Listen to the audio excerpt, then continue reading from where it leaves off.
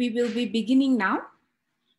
As mentioned earlier, if you have friends who cannot join by Zoom, they are welcome to join through the Facebook Live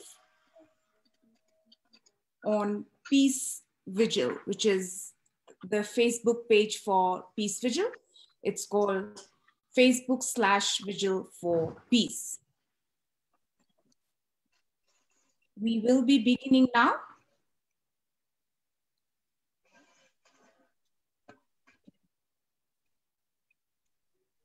Yes, I am here. Thank you, sir. Welcome. I join. Okay. Welcome.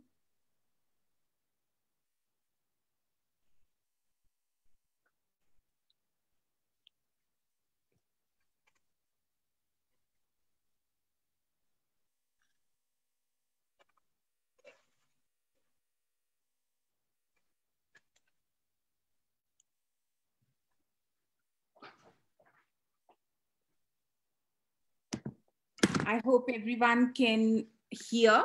If there's any difficulty in hearing, kindly let us know.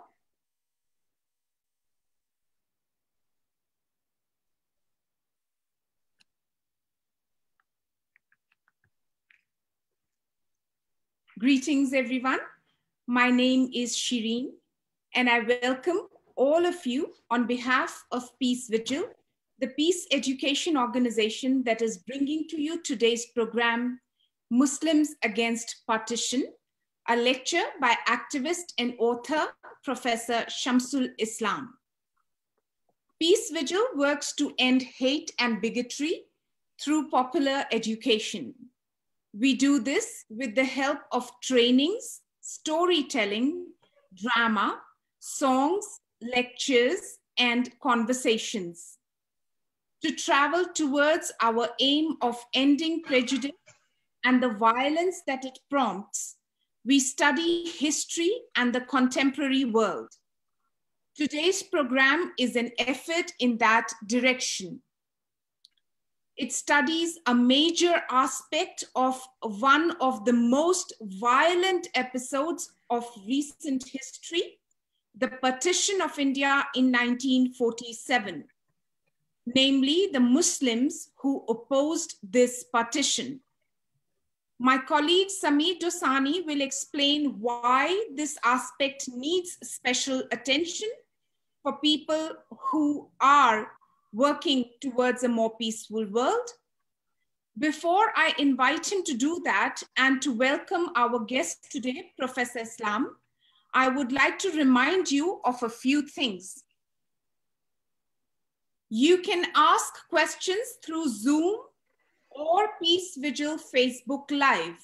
This program is being relayed on Peace Vigil Facebook Live, which is Facebook slash Vigil for Peace. We have over 1,200 regular listeners and viewers, and you're welcome to join them by subscribing to our channel on the YouTube called Peace Vigil. If you look on the right-hand side of your screen, there is an eye.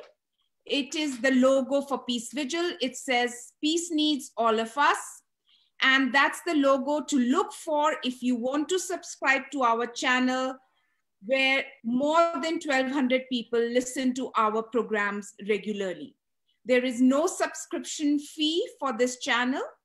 You can join very easily.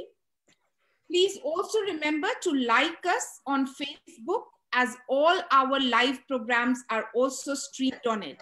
If you're watching us on Facebook right now, please just make, um, uh, you know, just take a second and like us there on Facebook. I now ask upon Sami Dosani of Peace Vigil to welcome Professor Shamsul Islam and introduce the subject. We are honored to have Professor Islam today who is a popular author, a well-known activist, and Samir Dosani from Peace Vigil is going to introduce him formally and also talk about the subject, which is Muslims against partition.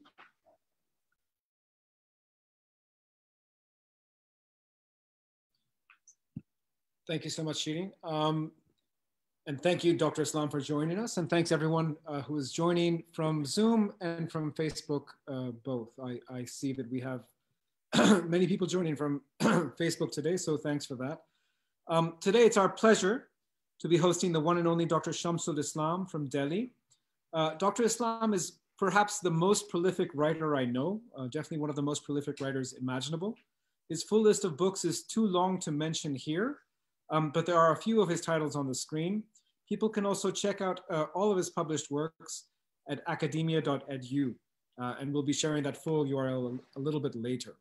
Um, Shamsul Islam has personal knowledge of the issue of Muslims against partition. So I should say that there, you know, there's a myth that I think I certainly, um, you know, growing up um, in the West, and many people in India and in Pakistan have as well, which is that partition was a sort of one-way street. Hindus went to India and Muslims went to Pakistan, and also that it was a quite a comprehensive one-way street. Uh, it, especially in Pakistan, I think this narrative is more than it is in India, that all of the Muslims from all over India came to Pakistan, when that's just not true. Um, Dr. Islam's own uh, family uh, migrated from Pakistan to India, a so-called reverse migration, and they were, they were definitely not alone. There were many people who made this so-called reverse migration. Um, and as we'll learn in this lecture, after partition, many more Muslims remained in India than those who became part of the newly formed Pakistan. And I would say, you know, if we go a little bit deeper, which we'll also discuss, um, the people who migrated to Pakistan mostly migrated from one or two areas, which were the strongholds of the what became the Pakistan Muslim League. So it's not a shouldn't be seen as a almost shouldn't be seen as a religious migration. It was a political migration um, but we can get into these issues a little bit later. um, though best known as a scholar of the Rashtriya Swayamsevak Sangh, Dr. Islam's work on religion and politics also includes extensive research on the rise of Islamist fundamentalism in Bangladesh and in Pakistan. In terms of his methodology, he believes in looking at the original sources so that one can understand what the Hindutva or the Islamist fundamentalists are telling their own followers. Uh, so with that in mind, I'd, I invite uh, Dr. Shamsul Islam uh, to please let us uh, know more, let us learn more on the subject of Muslims against partition. Dr. Islam. Okay. Thank you, uh, Mr. Samir. Thank you, Shiriji and Peace Vigil team to let me discuss issues relating to partition and focusing on Muslims against partition, uh, this discussion is important for, for a very crucial reason that a general understanding is, or a common sense kind of thing is, that all Muslims were uh, for Pakistan, but we uh, never questioned whether all Hindus were for a secular democratic India so uh, that's a uh, that's a half truth. Uh, uh, in fact, uh, to believe that all Muslims wanted uh, Pakistan and all Hindus wanted a united India, that that is not a fact in if you look at the documents and you know the the basis for this partition basis for this partition was that uh, Muslims are a separate nation. Muslims constitute a separate nation and uh, Hindus are a separate nation or in the same manner, if there were Sikhs in India, those were a, a separate nation, Jains were a separate nation and uh, Buddhists were a separate nation and all other followers of all other, all other religions. But let me just begin with, the, with few facts as backgrounder that the idea of a nation developed only eh, in 19th century. Uh, you you should not be surprised if I tell you that uh, share you that Royal Spanish, Spanish Academy's 1884 edition did not contain this word nation. And Oxford Dictionary, Oxford English Dictionary included this term nation only in its 9, 1908 edition. So a concept which developed uh, in, in, in academia uh, in the field of language or in discussion, and it did not become an um, big narrative, but uh, a word. And here in India, uh, the flag bearers of Hindu Hindu nationalism and uh, Muslim nationalism. See, there is another confusion. Should we call this Muslim nationalism or Islamic nationalism? But anyway, uh, whatever is generally used, I'll be using. Uh, so uh, uh, that we from timeless, you know, Sanatan from the immemorial times. Uh, Hindus were a nation and uh, Muslims, of course, uh, Islam religion arose only 1400 years back. So from, from the first day of the origin of Islam, Muslims were a separate nation, but that will create very interesting uh, uh, contradictions that we will come to later. But anyway, uh, so the whole argument was that uh, uh, the issue the issue that Hindus and Muslims could never uh, live together, and it needs to be discussed or discussed in a threadbare manner from common sense, from history, and what is happening today. Uh, so I'll I'll, I'll try to um, uh, put few facts that who believe that in the primordialness of uh, uh, Hindus being a nation and then also Muslim League under Jinnah claiming, and of course there were other people, Chaudhry Rahmat Ali and others, Sir Sayyid Ahmad Khan, that Muslims were a separate uh, people from Hindus. Uh, but uh, let's begin with the claim of the Hindutva that Hindus are a, uh, are a primarily a nation and and Golwalkar and Savarkar, two flag bearers of Hindu nationalism, uh, they even went to the extent that when world was walking on four feet, uh, they were uh, uh we were on two feet, and uh, our rishis and munis uh, were the most civilized people, and we, we were ruling the world, not only India but the world. And they even went to claim that when Europe did not know how to roast meat, we were ruling the world. So that means that uh, Hindus, and that was the first religion and the most civilized religion. But interestingly, if you go into the uh, Brahminical scriptures, uh, you will find that uh, Hindu, the term Hindu, uh, uh, appears in Sanskrit sources, Sanskrit literature, only 19th century.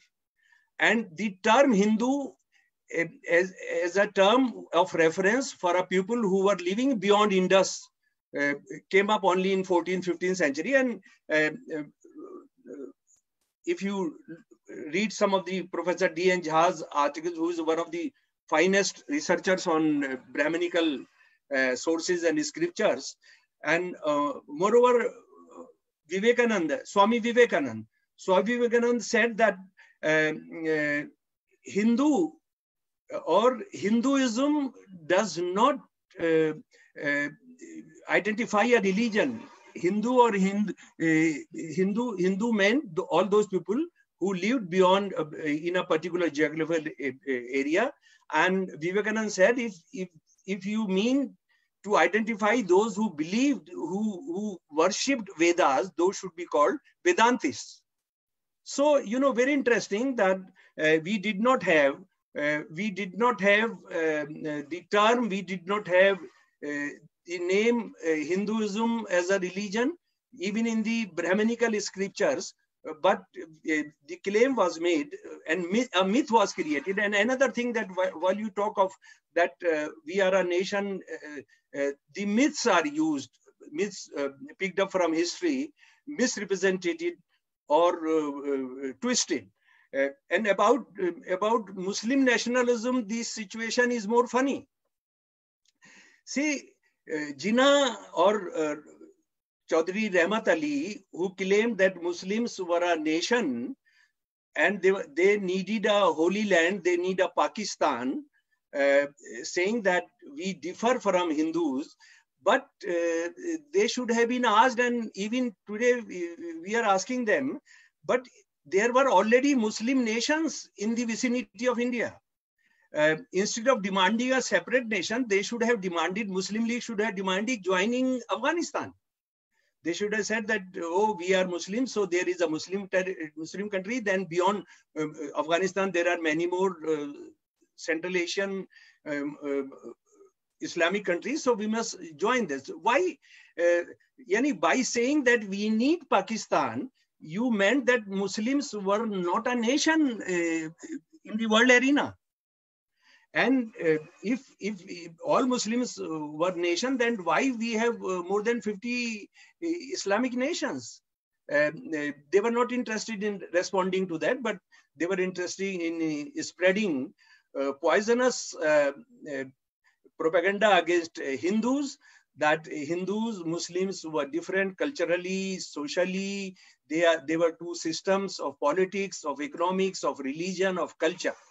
But uh, uh, the, the simple thing, uh, a thing uh, common sense wise that if you are a one nation, then why Pakistan separate, uh, separate Pakistan?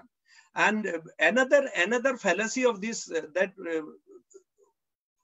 Muslims and Hindus are two nations and religions determine your uh, national identity uh, uh, would be very difficult to, uh, to pass judgment.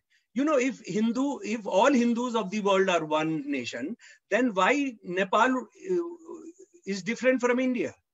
Nepal, 98, 95% Hindus, India with 80% uh, Hindus, they naturally they should have been one nation they did not. And, and another thing that uh, uh, if two religions stay in a nation, they will always fight. Uh, this also historically had been taking into account the facts of the present times. Uh, the, it cannot uh, pass uh, as a, judgment, a sensible judgment. You know that um, in Nepal, these were all Hindus, 95 Hindus, 95% plus Hindus.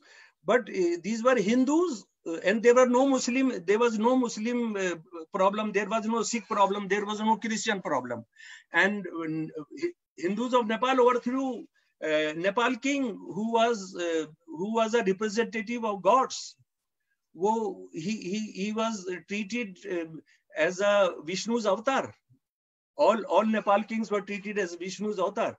And uh, uh, other thing is, in, in the case of Isl Islamic nation or Muslim nation, I, I, I discussed that uh, Jinnah, if really he believed that all Muslims of the world are Muslims are a separate nation, then he should have asked, demanded to join Afghanistan, which he did not, but he wanted a, a separate nation. And why did he want that? and uh, raise the bogey of uh, Muslims as a nation. We'll discuss later. Uh, and and uh, Muslim as a nation, uh, this thing, uh, and on the basis of which India got partition, 1971, Bengalis of Pakistan proved that wrong. Proved that uh, that all Muslims uh, constitute a nation by breaking up, by breaking away from Pakistan, they said uh, all Muslims necessarily need not to be one nation. There, uh, there can be many nations. And it is not only uh, Bengalis, uh, and Bengalis were not Hindus or Christians or Sikhs who wanted to uh, uh, break away from Pakistan. They were Muslims.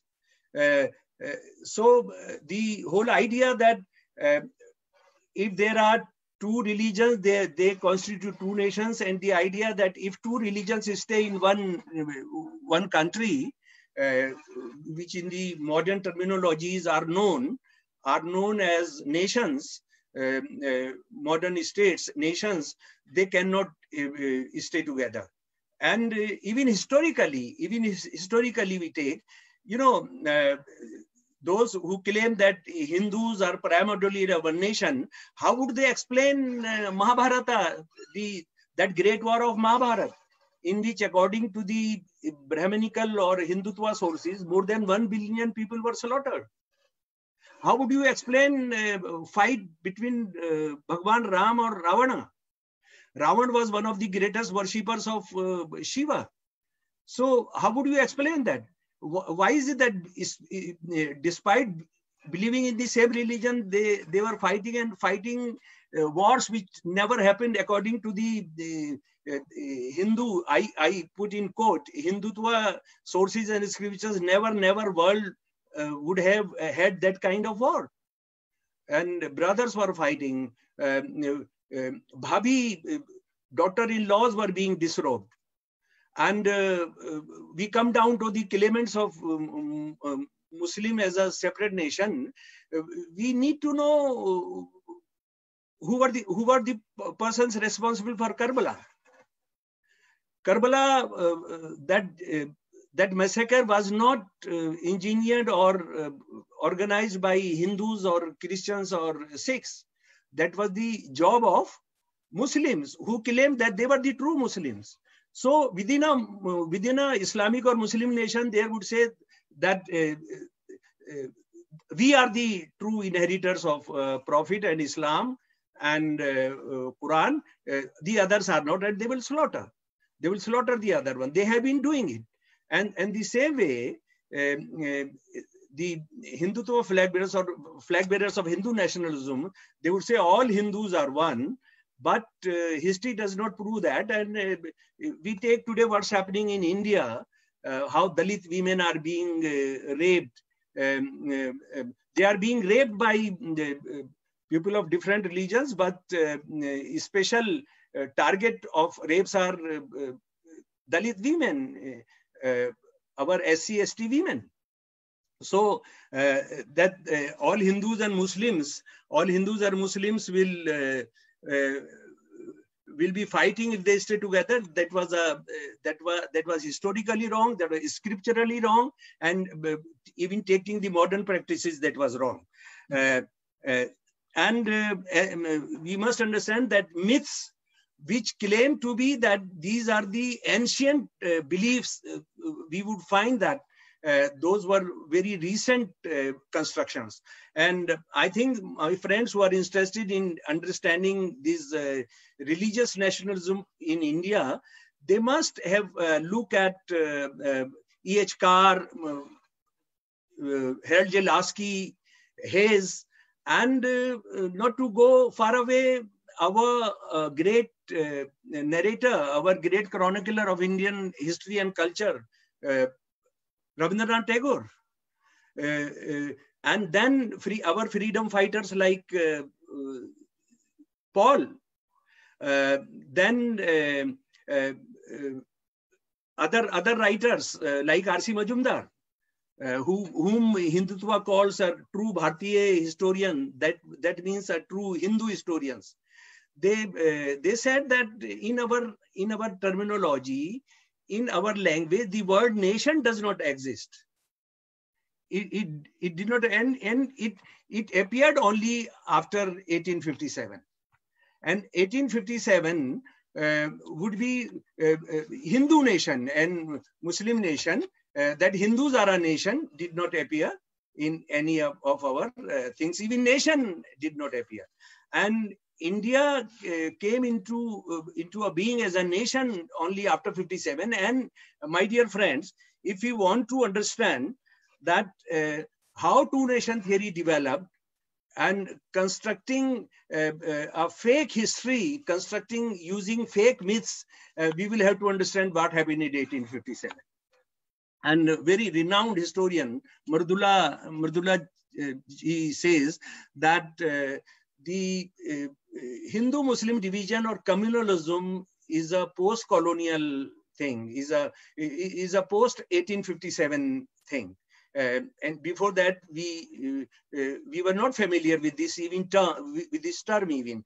And uh, in this connection, I I would uh, I would request you to bear with me to uh, to some of the facts of 1857, which I I would like to share with you. Uh, those who believe that Hindus and Muslims were two nations and always at war, and they should be at war this, this time also at this at the, those were after 1940 uh, passing of Pakistan resolution. Uh, let me just share uh, the contemporary original sources of the time. And uh, I would like to add here uh, that I, I work on the original sources. Uh, no secondary sources and I work on the contemporary sources. This about 1857, what I'm discussing, I'm talking of, of the sources which I collected uh, for, uh, in 10 years uh, from different parts of the world on 1857. Uh, let's take, uh, let's begin with the 10th May 1857 rebellion at Meerut. That was one of the biggest cantonments of the East Indian Army. And this rebellion was special in the sense that it was not a cantonment rebellion. The, uh, the East India Company regiments which revolted, they decided to walk down to Delhi to talk to uh, the disposed, uh, the king who was who did not have his, his rule extended even beyond Diwan Khas, which was his palace. And they said we would go there and uh, we would tell them that it, announce an independent India. And uh, the 10th uh, May 1857, uh, that was a Sunday. And 11th May, they reached Delhi outside Red Fort, Lal Killa. they are more than 10,000. In this 10,000 armed personnel, and you know these were not only east india company ex uh, former uh, military personnel but also villagers uh, of all religions had had joined them on the way. Uh, this is about uh, 40 miles, this about 40 miles from Delhi. Um, uh, and they were they were fast. Uh, they came fast. They covered that in uh, one day and night, and uh, reached early morning, 11th May, Monday, that four. These this army of rebels, these revolutionaries, I would call them revolutionaries. 18 per, 80 percent of them were Hindus carrying arms. They went to Red Fort, nobody listening to them. They went to Diwan-e-Am, which was the public court of uh, Mughals. Uh, nobody was, was willing to listen to them. Then they entered the Diwan-e-Khas and asked Bahadur Shah Zafar ki, that you are our king, you are our emperor, you are the emperor of Hindustan and uh, Britishers have um, uh, made you redundant. We will not accept that, and you you become our real emperor and announce announce freedom from the British rule. It it took uh, uh two days and uh, uh, um, many meetings and another thing. Even Bahadur Shah Zafar was not willing to accept that he he offered many reasons. His old age and other thing. And moreover his court was all full of uh, british spies. He, uh, even his wife his prime minister. Uh, so mm, but then uh, uh, a kind of uh, threatening was also there. And bahadur shah zafar decided to lead the liberation struggle.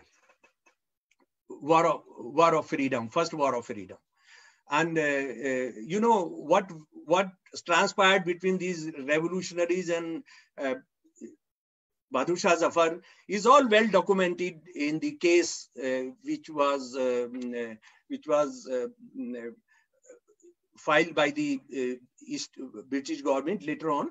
This is all available. All documents are available. In in fact, on the net even. on the after as a conviction, he was sent to Burma with his family.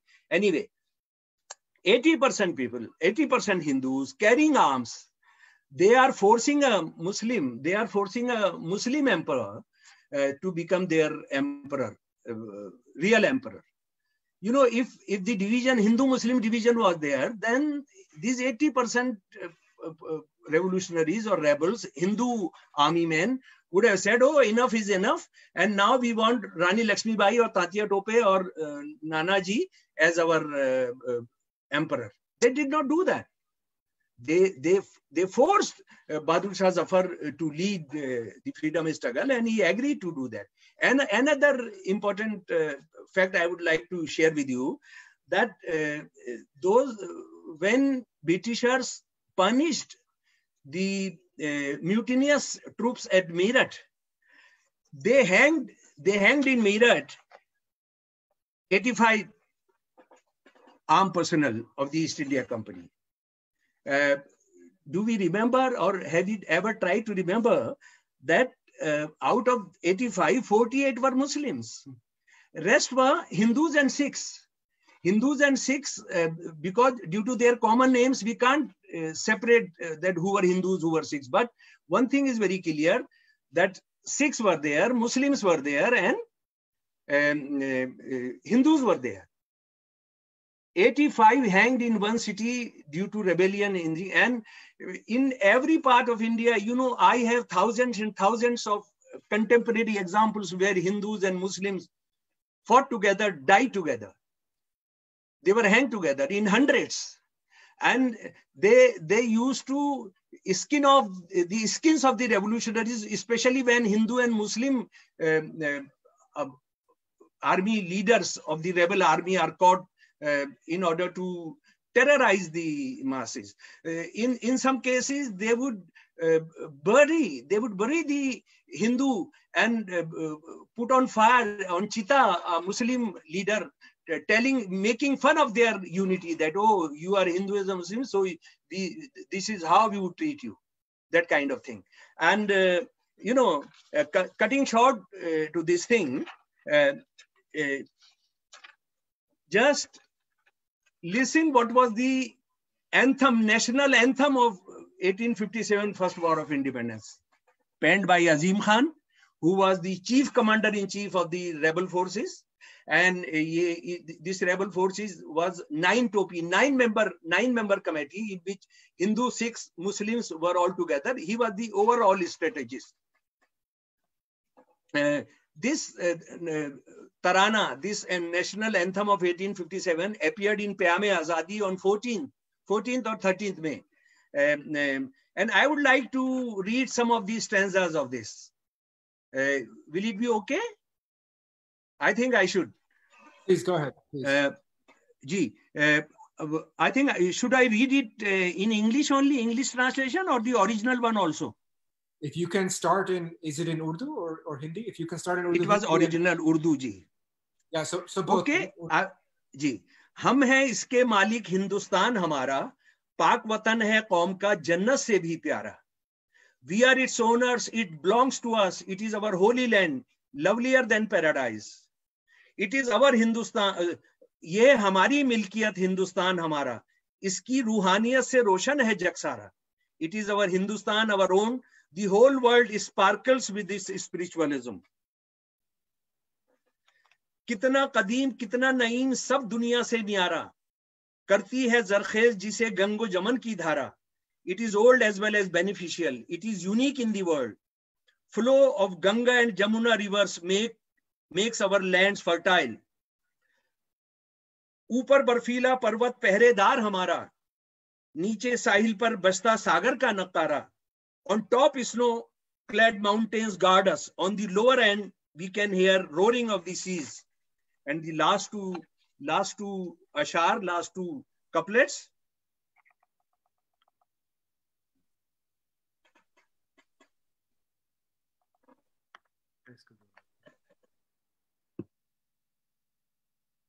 आया फिरंगी दूर से, ऐसा मंत्र मारा। लूटा दोनों हाथों से प्यारा वतन हमारा। The British came from far away play trick our dear land was looted with both hands आज शहीदों ने तुमको अहले वतन ललकारा। तोड़ो गुलामी की जंजीरें बरसाओ अंगारा। Martyrs are calling you countryman break shackles of slavery spit fire and last last line is it is it fine yes please go ahead last last line please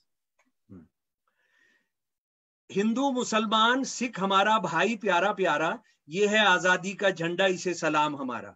Hindu, Muslim, Sikh dear brothers. This is flag of independence. Salute to it. This was the Tarana which rebel forces for three years, they used to sing this. They were singing this uh, in, during March, during ceremonial functions, whenever Bahadur Shah Zafar uh, came out to visit uh, the army, the rebel army, the revolutionary army, this was sung. And, uh, and it was our defeat that Hindus and Muslim nations came. This was the most crucial point I would like to uh, bring before you after that backgrounder. Uh, you know, when you defeat, when a, when a people are defeated, or even a family is defeated in some cause, what happens that uh, uh, uh we start fighting, internal strife, internal bickering starts. And uh, we, we start fighting that this was due to that particular person, that particular section that, that we were defeated. And exactly that, that thing happened after, after our defeat. And uh, that defeat was not because Britishers are more powerful or cleverer. They, they used spies. And for that, I originally collected 19, 1857 document, uh, letters of spies. Uh, please, uh, you must you must read those how how Britishers won through spies. Uh, there were spies. Half of the court of Bahadur Shah Zafar was uh, packed with spices. Anyway, uh, so uh, what what started happening that uh, the elite section of Hindus started saying that Muslims did it. They started telling Britishers that uh, Hindus did not do it, Muslims did it, and one of the leading Hindu scholars of that time, Amethi, Raja of Amethi's prime minister, Pandit Kanhaiya Lal, came out with a book as early as September 1857, Moharba Azim, the Great War, that Hindus were not responsible, Muslims were responsible. And uh, on the other hand, we had Sir Sayyid. Sir Sayyid came out with two books uh, uh, in which uh, he said, Asbab Bagawat Hind, uh, causes of the uh, mutiny of 1857 and Sarkashi Zila Bijnor. Uh, the uh, mutiny in Zilla Bijnor. And uh, mm, they said, they said that ye, Hindus, Hindus did it, and Muslims Muslims did not participate. Even some, of course, some section of Muslims uh, uh, participated in this, but those were very lower caste. Those were badmash, ill-mannered. Those people were involved in bad uh, professions. They, did it. So high caste Muslims did not do it. Udhar Kanhaiya Lal is saying high caste, uh, uh, high caste Hindus did not do it. Uh, and, and at the same time, uh, high caste Brahmins, uh, high caste, uh, high caste of Bengal started creating theories that Hindus are a separate nation, Hindus are Aryans, uh, and uh, Hindus, uh, this country belongs to Hindus. And mm, the most important one was uh, uh, Rajnarayan Basu, who was the maternal uncle of Bankim Chandra Chatterjee and his close friend Nabha Gopal Mitra. This is the first time that uh, uh, Hindus, a section of Hindus, learned Hindus is saying that Hindus uh, are a separate nation and India belongs to them and he started holding Hindu melas. He organized Hindu Mahasamiti, which which later on become became Hindu Mahasabha. Uh, and they argued Hindus should establish an Aryan nation which will rule the world, they claim. R.C. Majumdar, one of the greatest historians, uh, modern India and medieval historian, he said, please uh, listen it carefully, Nabha Gopal forestalled, Nagapal, who first time said that uh, Hindus are a separate nation. Nabha Gopal forestalled Jinnah's theory of two nations by more than half a century. And since then, consciously or unconsciously, the Hindu character was deeply imprinted on nationalism all over India. कि जिना से 50 साल पहले नाभा गोपाल मुद्रा ने to to nation theory की नींव डाल दी उसकी दाग बेल डाल दी or I had talked about Sir Syed Ahmad Khan, or uh, then uh, we also had Bankim. Uh, Bankim, uh, you know that um, he he had failed in um, it is one major subject in BA. Uh, British syndicate of the Calcutta University gave him grace marks, and he was he passed, and then he was the first person after the failure of 1857, an Indian, uh, a brown colored, uh, appointed as district magistrate, uh, deputy collector, first Indian to be created, and and he created, he produced, he penned literature uh, where the main enemies were not Britishers, were Muslims and it was the worst um, novel, Anand Math. Anand Math um, talks of uh, not Britishers as the enemy and Muslims as the enemy when British Britishers have established their rule. And, uh, you know, he glorified violence against uh, Muslims in such a manner that all Hindutva, in some of the Hindutva uh, camps, their uh, camps, their intellectual camps and physical exercises, some of these scenes of burning uh, Muslim villages, forcing them to convert to Hinduism and other things, those games are played in their uh, camps borrowed from Anand Math. And Anand Math, uh, some of our uh, um, Hindutva uh, intellectuals believe that Anand Math is the finest novel of Indian nationalism, Hindu nationalism, but they should be ashamed if they have not read that novel. They would be ashamed if they read the last four pages of the Anand Math uh, that says, uh, that tells the uh, Hindu Sena, uh, Sanatan Sena, that uh, they are they are not uh, they fought against the Muslims, they destroyed Muslims, but they are not going to fight the Britishers because Britishers are needed. With the, with the coming of Britishers, Hindu rule has come and uh, there is absolutely no need fighting the Britishers. But anyway, but dear friends, we should remember one thing that in this first phase, uh, up, up, up, uh, an understanding is rising among Hindu high caste and Muslim high caste that we are two nations. But still, nobody is saying that uh, Muslims cannot stay here or Hindus cannot stay here. This would start in phase two, that is the beginning of 20th century. Uh, and that would start also because uh, uh, freedom struggle against Britishers is taking very drastic uh, uh, steps. They are fighting with uh, arms. Revolutionary groups are coming up, and working class and others are coming up. Tilak and others also organizing people. And um, uh, that is the time that Britishers needed further support that Hindus and Muslims are two nations, that only would not help them. Now they wanted that uh, when freedom struggle is coming up, that this should be bifurcated into Hindus and, and Muslims. And uh, uh, I'm sorry, sorry first, I'm just going to interrupt for one second, just because we have we may have some viewers who are just joining now, and I just want to make sure that it's on the same page. So right, what we're right. doing now, we're going over the history of how we get to two nation theory, right? Which everyone will have heard of two nation theory. I think this is our history. But in order to yeah. understand that, as we have to say, we have to learn that that history is very new. So just to repeat a couple of the key points that Professor Islam has made. Number one, the very idea of nation did not exist until the 20th century, right? That is a very in in the West. In the West, you can trace it back a little bit further, but it's in academic and philosophical circles. It doesn't become popular until the beginning of the 20th century. That is point one. Point two is, um, you know, if one is talking about Indian nationalism in general, one has to talk about that in the context of 1857 and after 1857. Point three is that in 1857, you had Hindu, Muslim, Sikhs all fighting together, all dying together and uh, singing songs that were deliberately um, multi-faith, multi-religious, trying to bring people together, right? Um, now, we, point four, which is just sort of where we are, is that after 1857 and when we get to the 20th century, we have a, a group of people, including the Bengali, the, the two seem, geographically, they seem to be centered in two places. One is Bengal and the other one is Maharashtra. Um, and we've talked about Bankim Chatterjee, we're going to talk about Hedgewar and others just now.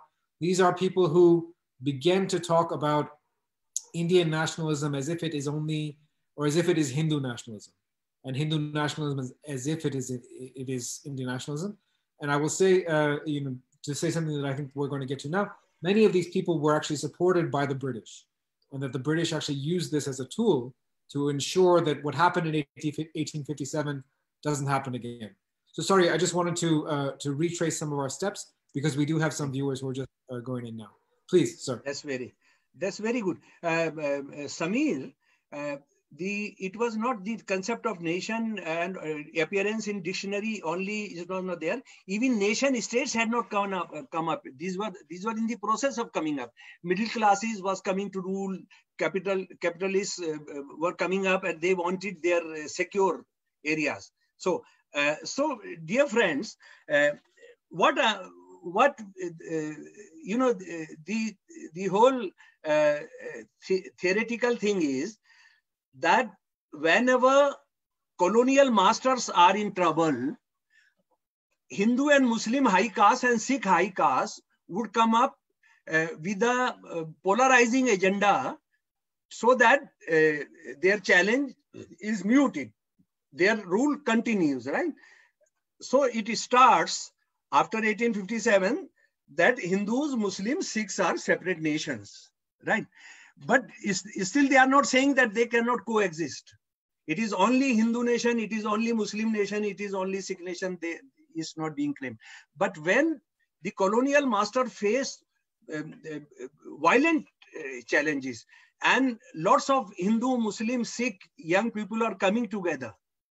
There are revolts. There are hun hundreds and hundreds of uh, revolts where Muslim peasantry, Hindu peasantry, they are coming together. And in fact, the uh, the uh, Anandmath Anandmath uh, fight, which Bankim communalized, that was a fight of Muslim and Hindu sannyasis.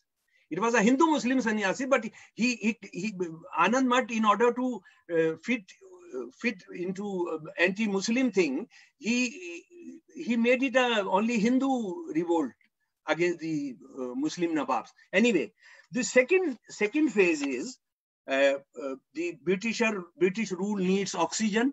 British rules very difficult uh, and uh, bombs are blasting, um, people are getting organized, spontaneous, um, very violent uh, movements are coming up. So we have the first documented thing, Bhai Parmanand, 1909. He writes, the territory beyond Sindh should be united with Afghanistan and the northwest frontier province into a great Musalman kingdom. The Hindus of the region should come away while at the same time Musalman in the rest of India should go and settle in this territory. It, was, it is not being said in 1940 or 47, it is being said in 909. And this is from his autobiography. Then Lala Lajpat Rai whom India believes as one of the greatest fighters of uh, greatest freedom fighter, and because he what he he he was hit Bhagat Singh uh, and his comrades decided to uh, take revenge. But no, what was he doing? And Lala Lajpat Rai, December 14, the Tribune Lahore, uh, Tribune which is being published in Chandigarh now, was earlier being published from Lahore, December 14, 1924, he wrote a series of articles and uh, I quote, under my scheme, the Muslims will have four Muslim states. One, the Pathan province of the northwestern frontier. Two, the western Punjab. Third, Sindh. And fourth, eastern Bengal. If there are compact Muslim communities in any other part of India sufficiently large to form a province, they should be similarly constituted. Very interesting. Lala Lajpat Rai is saying not for Pakistan to Muslims, but anywhere where Muslims are found in a compact, eh, living together, another Pakistan would be given to them. But it should be distinctly understood that this is not a united India. It means a clear partition of India into a Muslim India and a non-Muslim India. These Hindutva criminals, Hindutva terrorists, and even their academician, when they say that two nation theory was given by Muslims, and uh, all Muslims supported uh, Pakistan. Uh, they must they must know these facts. The, the, these were the and Lala Lajpat Rai was a was a very senior leader of Hindu Mahasabha. He was a very senior leader of Arya Samaj. Bhai Parmanand was a very senior leader of Arya Samaj of Hindu Mahasabha. These were the people who laid down that Hindu Muslims cannot live together. Then B.S. Munje, another the person who who inspired uh, Hedgewar, the founder of the RSS, Dr. Saab, uh, to found RSS in 1925. Uh, you know, he visited Italy. He had a direct audience with Mussolini He went, he went to Mussolini, organized a tour for him where he, he went to visit Balilla. Balilla, uh, Balilla was the contingents which were involved in cleansing of Jews and communists and working class and uh, progressive teachers.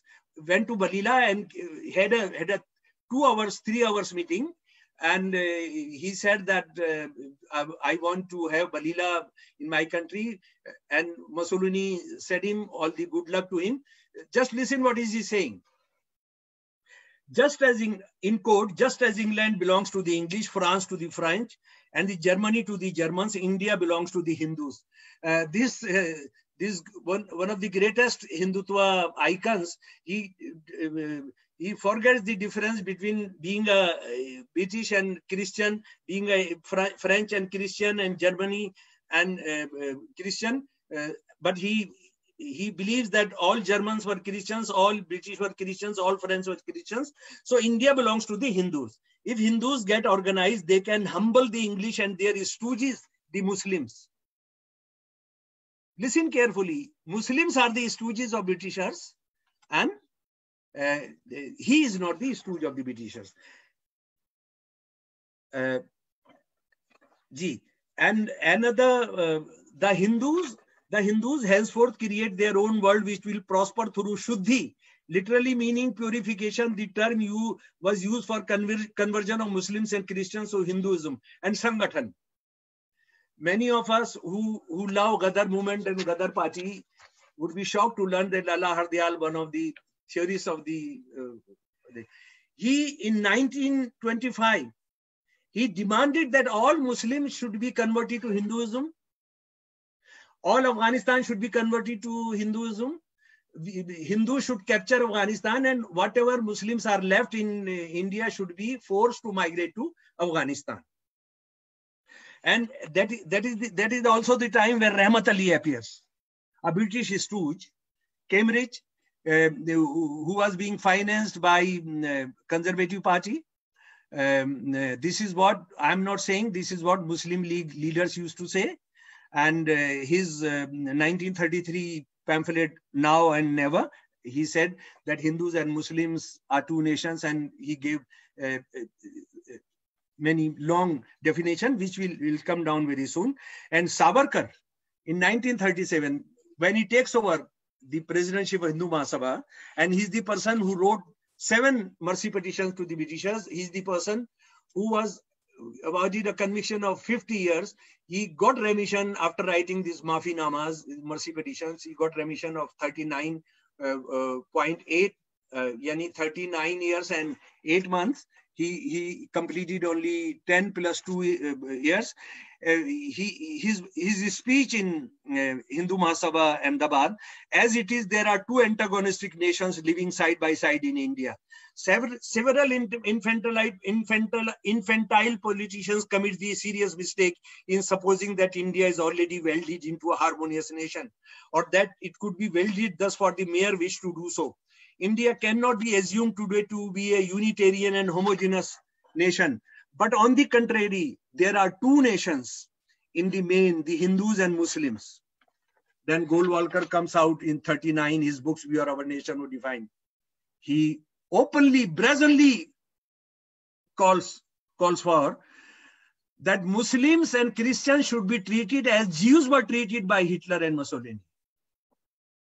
He, he makes it very clear that uh, whatever they did with the Jews, we must do that. Uh, uh, that uh, that is the only only part Hindu Hindu nationalists should do. And it was on the and it was um, for these reasons that Dr. Ambedkar said in 1940, strange it may appear, strange it may appear, Mr. Savarkar and Mr. Jinnah, instead of being opposed to each other on the one nation versus two nation issue, are in complete agreement about it both agree, not only agree, but insist that there are two nations in India, one the Muslim nation and the other Hindu nation. Hindu nation will be enabled to occupy a predominant position that is due to it and the Muslim nation made to live in the position of subordinate cooperation with the Hindu nation. My dear friends, now I come down to the fight of Muslims against India. You know that uh, Jinnah and before Jinnah, uh, they were small fries, Muslim, uh, so-called Muslim nationalists. Um, that uh, uh, they they said that Muslims are a different nation. Uh, Muslims are totally culturally, ethically, and scripturally are different from Hindus. but I would I would I would show you from the original documents that they were the two sides of the same coin. Let's listen what Jinnah said, underline Jinnah, Mr. Jinnah Sahab, Muslim Islamic uh, zealot. You know, you know that he, he was very fond of his scotch. You know, the most favorite sandwich of his was um, uh, sandwich of ham, pork sandwich. He was not well versed with Urdu he never used to visit masjid, but he declared that Pakistan is uh, uh, Quran, Sharia, Urdu, and Pakistan. They are synonymous. According to Jinnah, uh, Islam, uh, Hinduism were not two different religions, but in fact different and distinct social orders. The Hindus and Muslims belong to two different religious philosophies, social customs, and literatures they neither intermarry nor interdine together and neither uh, belong to two different civilizations which are based mainly on conflicting ideas and conceptions. Their aspects on life and life are different. It is quite clear that Hindus and Muslims derive their inspiration from different sources of history. They have different epics. Their heroes are different and their different episodes. Very often the hero of one is a foe of the other and likewise their victories and defeats overlap nobody should be surprised that Jinnah Saab had verbatim had picked up Bhai Parmanand's speech of 1906. My dear friends, listen what Bhai Parmanand said about Hindus and Muslims being different. Uh, uh, Mr. Samir, how much time we have at our disposal? No, there's there's no uh, there's no time limit, uh, sir, per se. We usually go about two hours. We've done about one hour of that, so there's still plenty of time. Okay. okay. Just wanted to because brief, I'm uh, resorting I'm resorting to original sources. It's not a chai khana tea house bachi, and yeah. um, uh, that we have done 40 years back, 50 years back, you know, but we no did problem. not do unfortunately. I just wanted to say hello to Dr. Amir uh, Sumro who's the grandson of Mr. Allah Bakhsh. oh, he has come? Dr. He has come? Yes, Dr. Ahmed, yes. Uh, and you know, the documents he supplied and uh, great uh, Adab Salam. Yeah, he, he, he cannot uh, speak, but he, he's Achha, here. Salam, my salam to him, right. But he's listening, he's listening. He's listening. Yes, thank you. Also, we welcome our listeners from the United States, Canada, and Europe uh, who have uh, obviously, you know, for the people from North America, it is hard at this time on a weekend, but they have come and joined us. We thank you uh, to all the listeners uh, for taking time out and joining in this important, uh, informative talk. अमीर साहब आदाब सलाम आदाब सतरीकाल नमस्ते अस्सलाम वालेकुम हाँ और अगर आप मेरे से पूछेंगे तो लाल सलाम Hmm. So, uh, so this is uh, Jinnah, and now I read verbatim what uh, uh, Bhai Paramanand, the icon, the leading light of uh, Hindutva, Hindu Mahasabha, and Arya Sabha said. Uh, and and V.D. Savarkar, right? According to Paramanand, in history, the Hindus revere the memory of Prithviraj, Pratap, Shivaji, and Bairagi Veer, who fought for the honor and freedom of this land against the Muslims. While the Muslims look upon the invaders of India like Muhammad bin Qasim and rulers like Aurangzeb as their national heroes, in the religious field, the Hindus draw their inspiration from Ramayana, the Mahabharata, and the Gita. Muslims, on the other hand, derive their inspiration from the Quran and the Hadith. Thus, the things that divide are far more vital than the things which unite. Tell me what, what is the difference? What was the difference? And now listen, the Hindutva icon, the propounder of the idea of Hindutva. Writing in 1923, Christians and Mohammedans Communities, since their adoption of the new cult, they had ceased to own Hindu Sanskriti culture as a whole. They belong or feel that they belong to a cultural unit altogether different from the Hindu one. Their heroes and their heroes worship, their fairs and their festivals, their ideals and their outlook on life have now ceased to be common with ours. Once they, they converted to Islam, they uh, uh, uh, their ideals, their outlook on life have now ceased to be common with others. And then uh, Savarkar, uh, you know, I I I I, I explained that to you earlier also that there are two antagonistic nations living side by side India.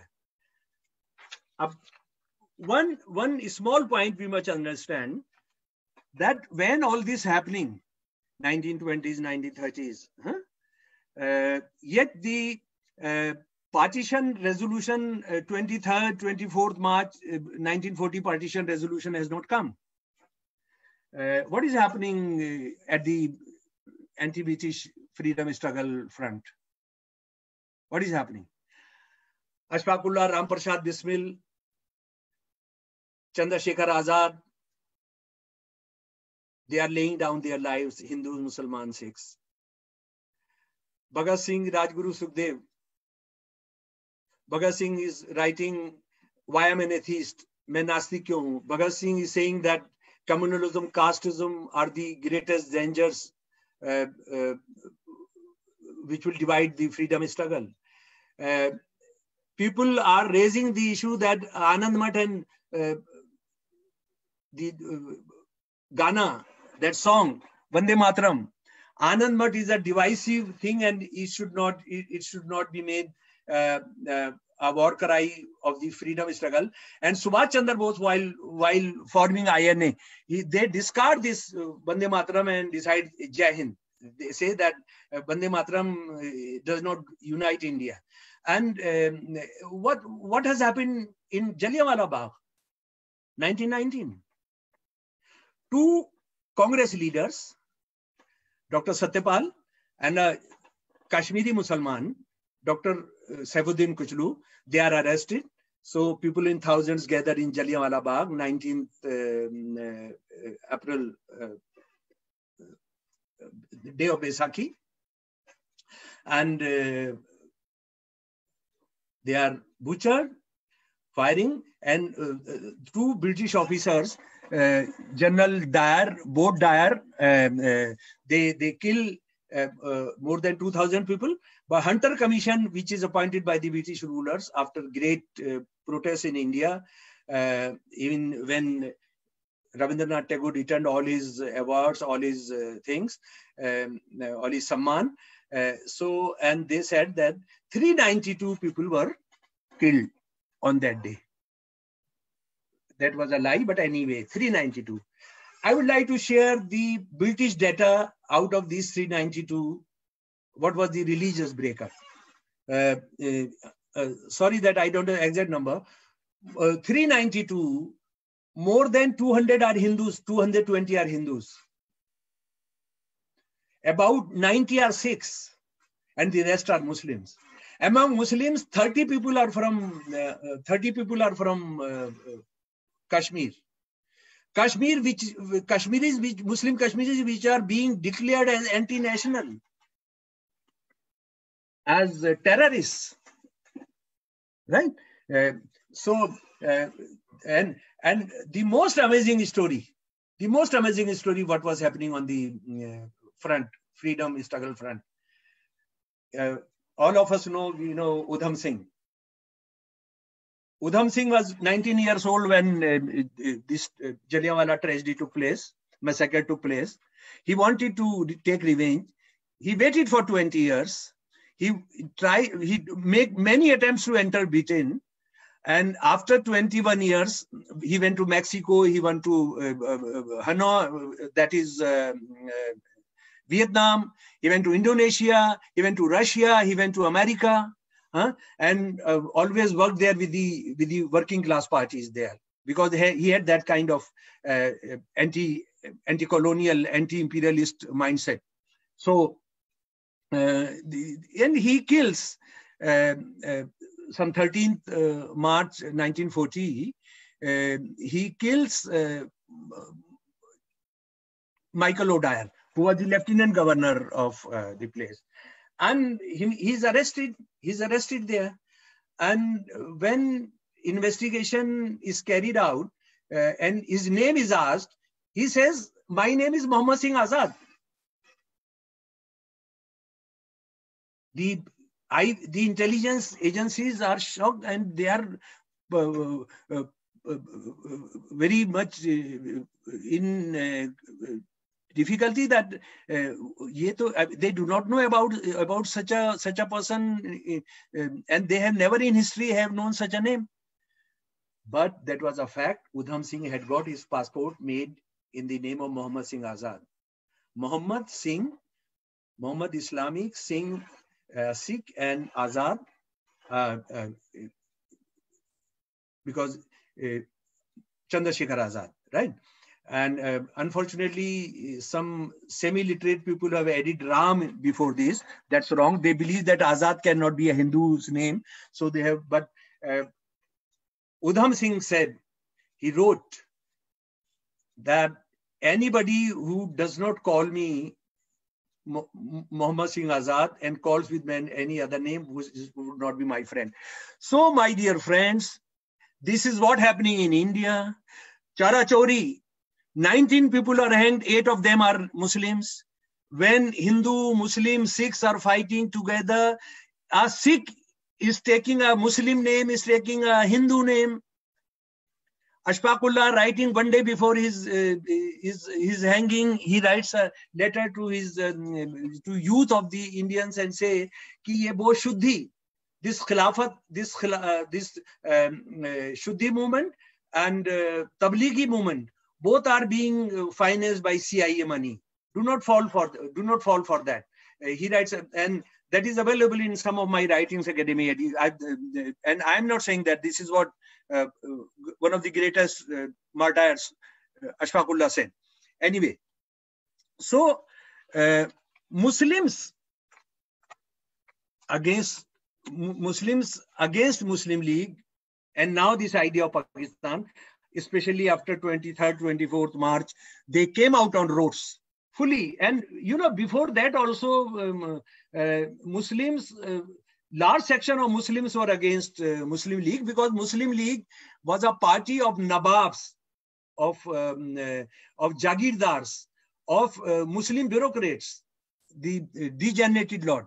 Um, because time time is less, so I'm not Uh, bringing uh, the poem of uh, muslim league poem uh, muslim league member hone ka matlab मौलाना शबली नोमानी साहब का। मौलाना शबली नोमानी साहब का बहुत याद that's a memorable poem and Shibli Nomani sahab is the first person a Muslim a scholar ji a Muslim scholar who established a college even before the finding of Congress Indian National Congress National College Azamgarh. Yani nobody could think of a national college. Maulana Shibli did not did not found did not found the uh, Muslim college, Islamic college, he found a national college. And that was the college and one of the greatest libraries it has. Whatever I am to do to, today is due to that, Darul Musannaf is library also. That is also the place where Gandhiji used to take refuge. Uh, that is also the place where Nehru, Motilal Nehru and other Congress leaders used to hide.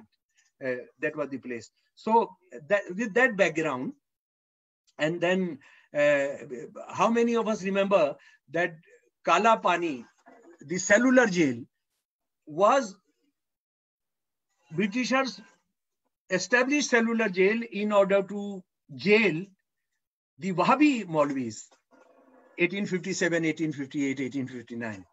Uh, nobody knows that that these were the muslim clergy muslim ulama uh, alims jinke liye ye cellular jail tha uh, and uh, they mm, they came out and i think what happened in the, uh, the, the muslims against partitions they called a meeting and what what how the Muslim, challenge muslim league through their deliberations That would be clear, and that would be uh, the last part of my thing also. Mm. See, 23rd March, 23rd, 24th March, Lahore, Congress, uh, Muslim League passes the resolution, or Muslim Brigade partition in less than five weeks come out with one of the one of the uh, most uh, educated, most uh, uh, lively, energetic challenge to the idea of Pakistan. Uh, all India Jamaat-e Ulama, All India Momin Conference, All India Majlis-e Ehrar, All India Shia Political Conference, Khudai Khidmatgars, Bengal Krishak Party, All India Muslim Parliamentary Board, the Anjuman-e-Watan, Balochistan, All India Muslim Majlis and Jamiat Ahle Hadith. They organized Azad Muslim Conference, Independent Muslim Conference at Delhi from April 27 to 30th, 1940.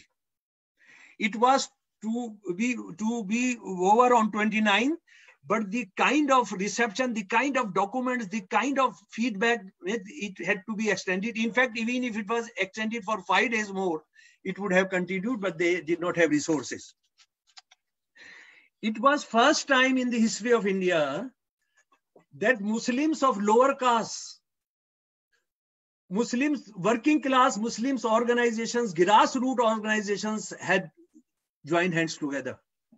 This was the first time in the history of India that Shia and Sunni, many Sunni organizations had united together.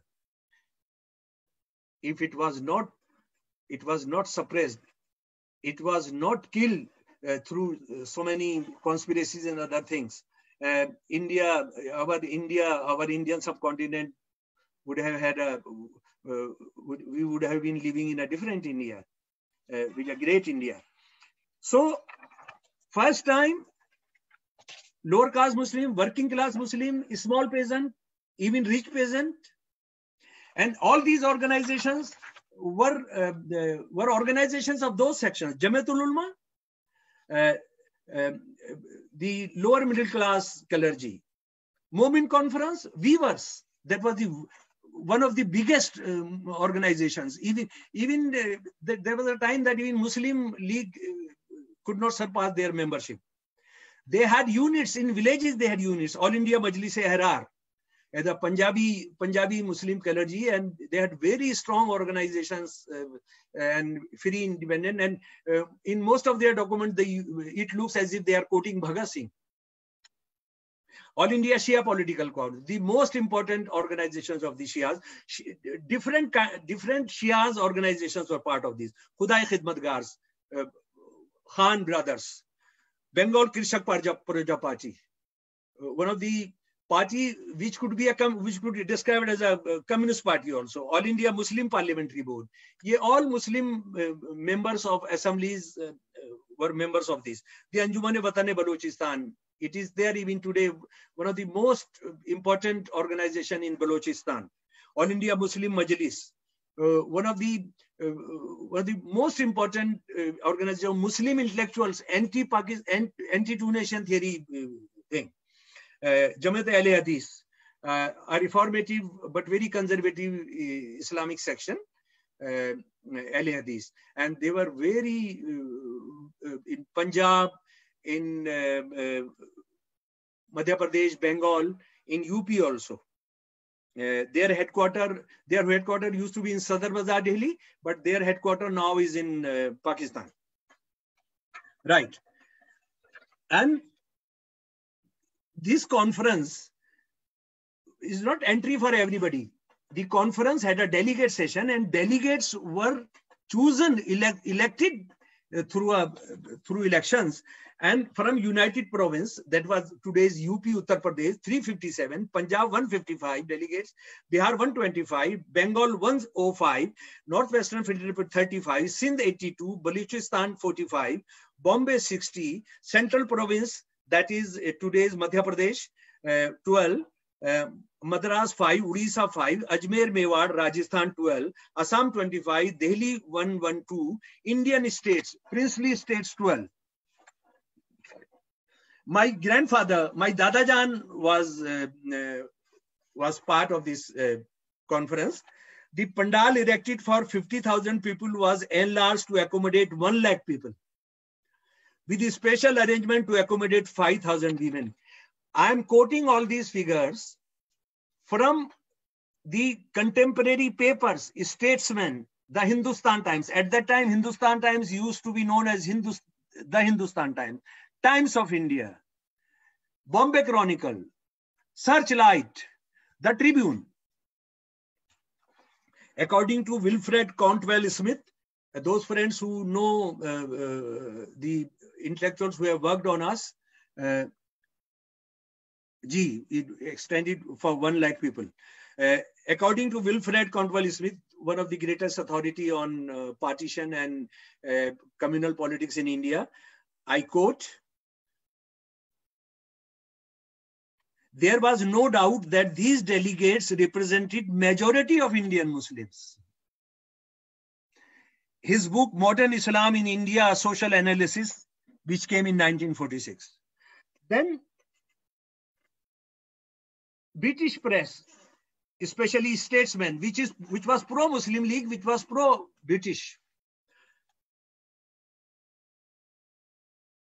admitted that it was the most representative gathering of the Indian Muslims. It was led by Allah Bakhsh Soomro. And I would like to tell you a few important things about Allah Bakhsh Soomro Sahab. Uh, he led a Ittihad party. He led a Ittihad party. In fact, he led a movement to separate Sindh from Bombay province. And he, he was he succeeded in that. He was um, uh, he led a Ittihad party. Ittihad party was a unity party. It was not a Muslim party. Uh, a party led by Muslims uh, at that time had to be a Muslim party. It was not a even even RSS cadres like L.K. Advani and uh, uh, the other one, uh, I'm forgetting his name. They have written on him and said that really uh, Hindus were there in the Sikhs were there in this part, in there. Uh, Ahmadiyas were there in this. so, and he was three times chief minister, three times or four times chief minister, either uh, dismissed through intrigues of um, uh, Muslim League intrigues or uh, the one time dismissed by the British government and I'll, I'll tell you, I'll share those details with you.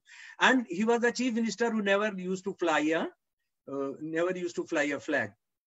Uh, during his chief ministership, every minister could draw maximum 500 rupees salary. He used to wear khaddar though wearing khaddar became uh, uh, notorious for notorious people after independence, but at the time khaddar was khaddar was really that you identified poor people. So uh, that kind of person, and uh, uh, he was uh, when he came here, he was the chief minister of Sindh, Sindh province, and Sindh province was the province that Muslim League could never have foothold till he was killed by Muslim Leaguers in 1943. Uh, before that, they could not enter. And uh, he was not a member of Congress, but when Winston Churchill decried and denigrated in very foul language, quit India movement of 1942, Angrezo Bharat Chodo, uh, which, the call for which given by Gandhiji and Congress, uh, when Winston Churchill uh, used very dirty language, uh, as the language which Hindutva and Islam is used, Mm, so uh, uh, he resigned.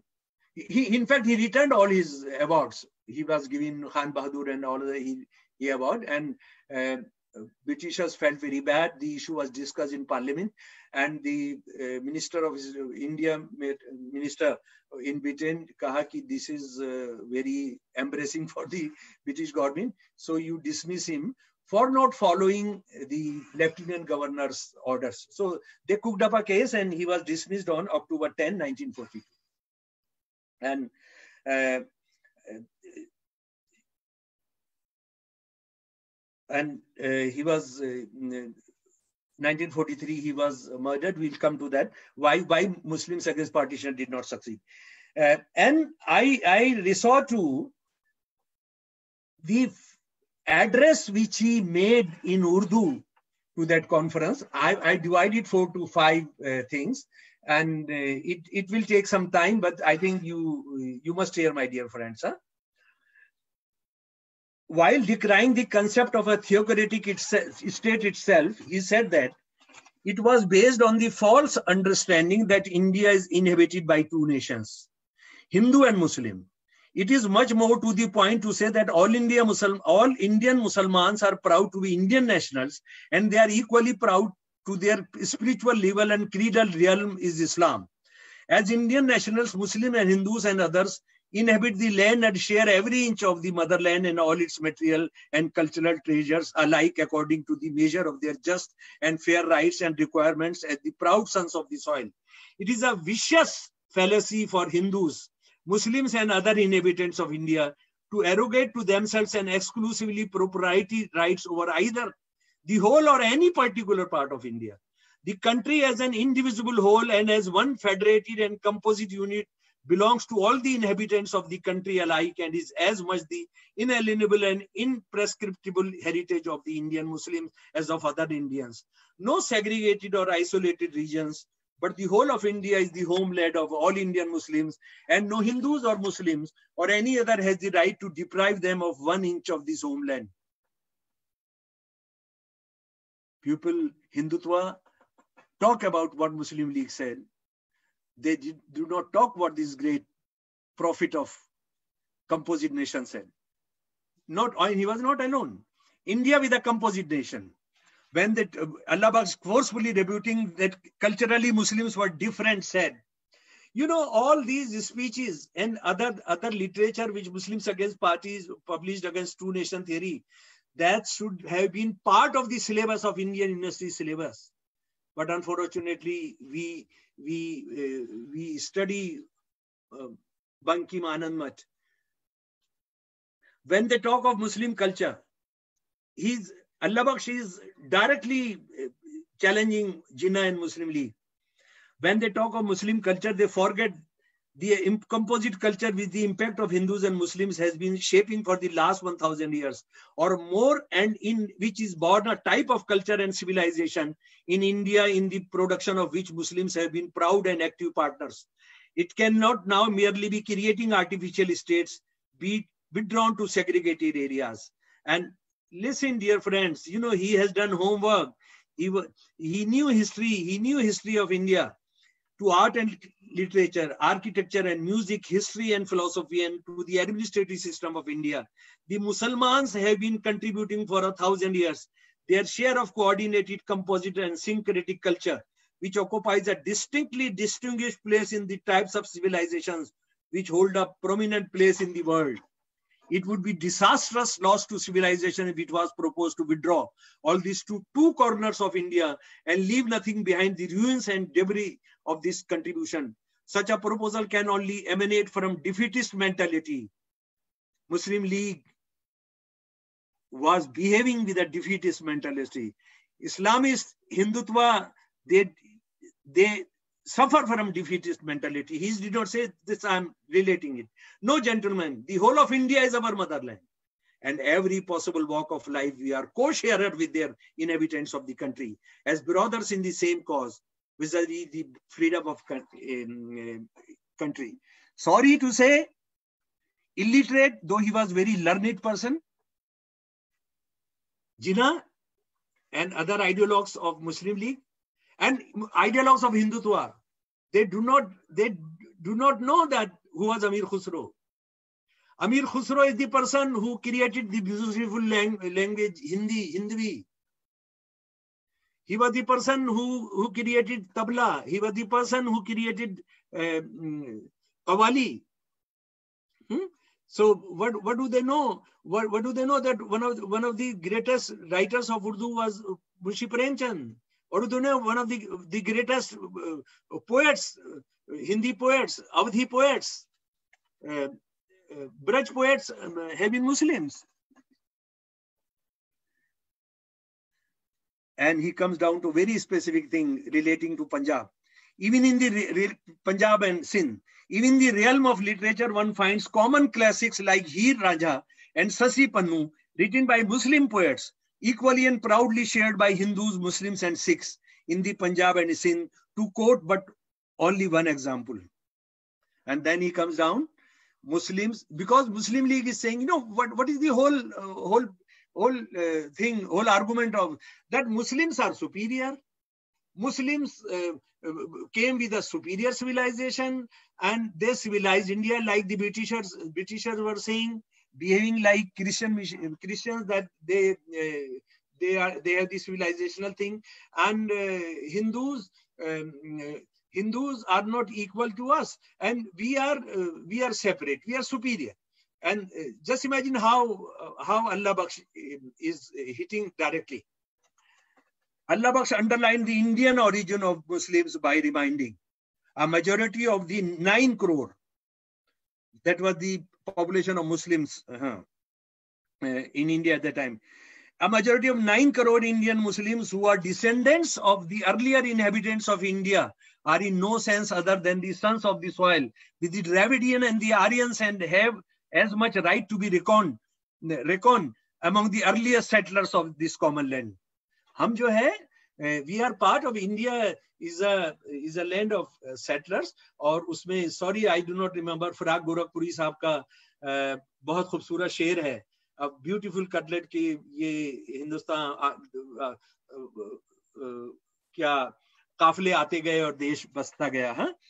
Every Muslim going for pilgrimage to the holy Makkah was invariably described as a Hindu by the Arabs.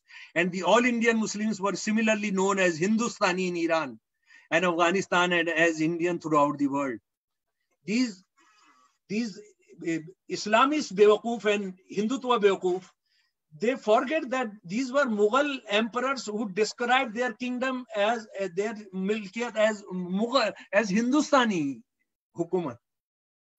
हुकूमत हिंदुस्तान उन्होंने दिया। उनका जो emblem था उनका उनके emblem में कोई कुरान की आयत तलवार के साथ नहीं थी वो था वो एक मछली था माही। उन, उनका जो नेशनल एम्बलम था वो एक मछली थी। तो ये इस्लाम में तस्वीर नहीं होगी इस्लाम में वो नहीं होगा ये नहीं होगा ये क्या क्या so, so Baba, I think you have to a little bit uh, that why why was the fish an emblem for uh, for Indian Muslims? No, Mughal. For Mughals. Mughal kingdom. Ah, Mughal, Mughal kingdom. kingdom. Ah, because there... they love uh, they love nature, and uh, this was uh, this was even Babar. It started from Babar's time. I I I had not worked on that, but their uh, their uh, their emblem was mahi, machli. I see. Ah, please continue. But that shows that uh, they were not writing Qurani ayat and other things. Huh? Without even without that, they were Muslims. And another important point which uh, Allah Bakhsh made, two nation theory create creation of the high caste, high caste among Muslims and Hindus for becoming rulers. These feelings and ambitions among those who hope to constitute the ruling caste among Muslims or Hindus as successors of the present imperial rulers revive and invent excuse of popular consumption from historical or other sources. And by securing the support of the groups, maneuver themselves into position to play the political chess, which promises a possible prospect of success in their aim of becoming the rulers of the masses, either integrally of the entire country or of a delimited region. region. Beautiful. That those Hindu Hindu rulers or Muslims who are who are who have become flag bearers, a Hindu want their rule, Muslims want their rule, Muslim nation want their rule. They are basically uh, imperialists. They want to establish their rules and uh, they want Britishers to go, but they want uh, their clans rule, uh, their families rule, uh, uh, their caste rule, or their sex rule. that Vishnu, Vishya would rule, that kind of rule they, they want. And um, this was carried further into a beautiful narrative, academic narrative by Dr. Ambedkar. Uh, my dear friends, those who are interested in this, you must read, you can download that book. In fact, Dr. Ambedkar's all articles can be downloaded Angrezi Hindi, uh, uh, uh, Partition of India, 1940. And then that was revised later and uh, he he raised the same issue. He says he said that Muslim League and Congress is including Congress also, Congress, Hindu Mahasabha and others, that they are the parties of Hindu high caste and Muslim high caste, and common Hindus and Muslims, poor Hindus and Muslims, lower caste of Hindus and Muslims, they should unite. They should have their own party as Justice Party experimented in Madras presidency.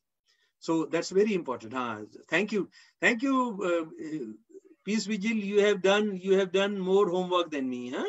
Thank you. Acha, another thing, you know, uh, uh, that's such a great lawyer who used to earn so much, he could never lose a case in court of law. Uh, Jinnah Saab. Jinnah agreed to a Islamic nation 400 kilometers apart. It was beyond common sense. जो कुछ लोग भाँग पीते हैं जो जो drunkards only could think of this. Sorry, mother, I, but I can I can debate on this. nobody could uh, could do that, and uh, time has proved. You know, Allah Bak's prophetic words about Eastern Pakistan.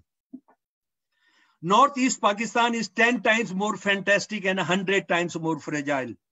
In the conception of the northwestern provincial Pakistan or the Punjab, there is at least a possibility of it being linked up with more powerful Afghans or Russians, Muslim neighbors. But Bengal and Assam, Pakistan will be an isolation quarantine with no superfluity of martial races to its credit, and which therefore may not take long to be quickly absorbed by its more enterprising neighbors. Bangladesh. Bangladesh क्यों अलग हुआ? That we understand. And uh, this Allah Baksh and Muslims against, see Allah Baksh is not Allah Baksh. Allah Baksh represent the whole narrative, whole very powerful dhara, uh, very powerful stream uh, against Muslim League and two nation theory. And another important thing was Muslims against partition stood for adult franchise. All, all adult people should be given right to vote. Uh, you should not, uh, you know, when uh, RSS says or Muslim League says that all Muslims support them, you know, Hindutva, Hindutva nationalists and Muslim nationalists almost uh, think alike. Hindutva nationalists say all Muslims uh, uh, voted for Muslim League. Uh, Muslim League, Jinnah Saab also said that all Muslims voted for, but without forgetting that what kind of franchise was in practice at that time. Uh, one of the, uh, I think the uh, the greatest uh, researcher or scholar of uh, Indian freedom movement and Constituent Assembly and uh, franchise franchise system of franchise uh, what was his name? Anyway, uh, uh, sorry. His book on Constituent Assembly is there. I quote, restricted franchise established by the sixth schedule of the 1935 Act, which excluded the mass of peasants, the majority of small shopkeepers and traders, and countless others from the rolls through tax, property, and educational qualification only 28.5% of the adult population of the provinces could vote in the provincial assembly elections of the early 1946. Economically and socially depressed portions of the population uh, were virtually defranchised by the terms of the 1935 Act. 1946 and all elections before that were held under 1935 Franchise Act. And only 28.7, 29% of the population had right to vote. And this was this was connected if you had paid 3000 rupees revenue and more then you would have uh, right to vote. There were provinces like bihar where muslim muslim landlords were less in number more muslims were poor so they there were less number of uh, paying 3000 revenue. So in bihar the average percentage was 7.8 of the total population at the at the national level, is what 20.5, 20.5, but at Bihar level, 7.8 percent. So, Muslim League was winning Muslim seats on the basis of that. And what is their first demand? You know, they are fighting with the cabinet mission plan when after long delay, they are invited, they are invited uh, for a meeting cabinet mission plan which came to decide the fate of India's freedom. Uh, they are saying, but they say no, adult franchise cannot be done. For that, we will have to prepare uh, uh, lists and all that. Uh, uh, they could they could divide the country. Uh, they could do allow millions of people to be devastated. Thousand, fifty thousand women raped, and but they did not have the plan to prepare a list for adult franchise thing. Uh, and uh, Allah Bakhsh ended his speech talking to the Hindustan Times about the about isolating the communal elements. He made an interesting comment. It is better to put the communalist in a cage so that they may not spread the hymn of hatred between the Hindus and the Muslims.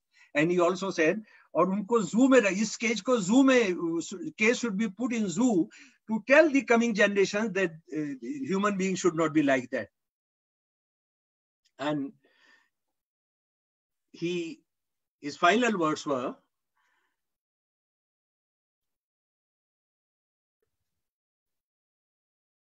we must fight to build up a vigorous, healthy, progressive, and honored India enjoying its well-deserved freedom. These prophetic words of Allah Bakhsh hold key to the salvation of India even today. But Allah Bakhsh was not allowed to survive. He died very young, around 39 years of age. May 14, 1943, Muslim League criminals had had gundas and he was killed outside Shikarpur, where he had gone to meet uh, some people. You know, we know Gandhiji was killed by Hindutva criminals. But this country does not know. Of course, Pakistanis would not talk of this under Muslim under Muslim, Muslim military rule. But this country, this country which says we are secular democratic, they also forgot. May 14, 1943, he was he was murdered. He was shot dead. He was he was coming back in a Tonga, and uh, then you know, uh, the contemporary press report, never, never they had such a such a funeral which they had, and uh, Hindus, Muslims, Sikhs, Christians, all were present. All were present. Uh, uh, so now I come um, to how, at the literature level, at the academic level, at the academy level, uh, Muslims against partition confronted uh, Muslim League, and they had no uh, no jawab, they had no answer.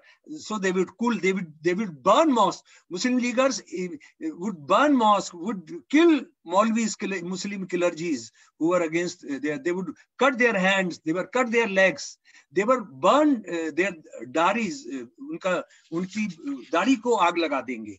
Or one of the most popular song against Muslim League uh, penned by one of the greatest freedom fighter and uh, mm, uh, poet, Shamim Karhani. And uh, I'm, I'm proud to be his student in 10th and 11th class. Um, you must listen this, this poem of him. And this is Pakistan Chahne Walo Se. Ji my dear friends uh, uh, uh, samir saab can i can i um, can I read this? Yes, please. But I think this might be the last one, and then we'll just give some few minutes at the end for questions. Yeah. Ah, right, right. Uh, so I, I, will I'll read four five things. Eh? Four five things. Uh, Pakistan चाहने वालों से to those who want Pakistan हमको बतलाओ तो क्या मतलब है पाकिस्तान का? जिस जगह इस वक्त मुस्लिम है, नजीस है क्या वो जा? Tell me what does Pakistan mean Is this land where we Muslims are an unholy land? नेशे तहमत से तेरे चिश्ती का सीना चाक है। जल्द बतला क्या ज़मीन अजमेर की नापाक है? Your सलर has wondered has wounded Chishti's breast. Quick tell me, is Ajmer impure? Because पाक जिना साहब का जो मैप है, वो पाक है, बाकी सब तो नापाक है। तो ये नापाक में तो चिश्ती का जो मजार है, वो तो नापाक में रह जाएगा। जी। हैं इमामों के जो रोज़े लखनऊ की खाक पर। बन गए क्या तौबा तौबा खिताए नापाक पर?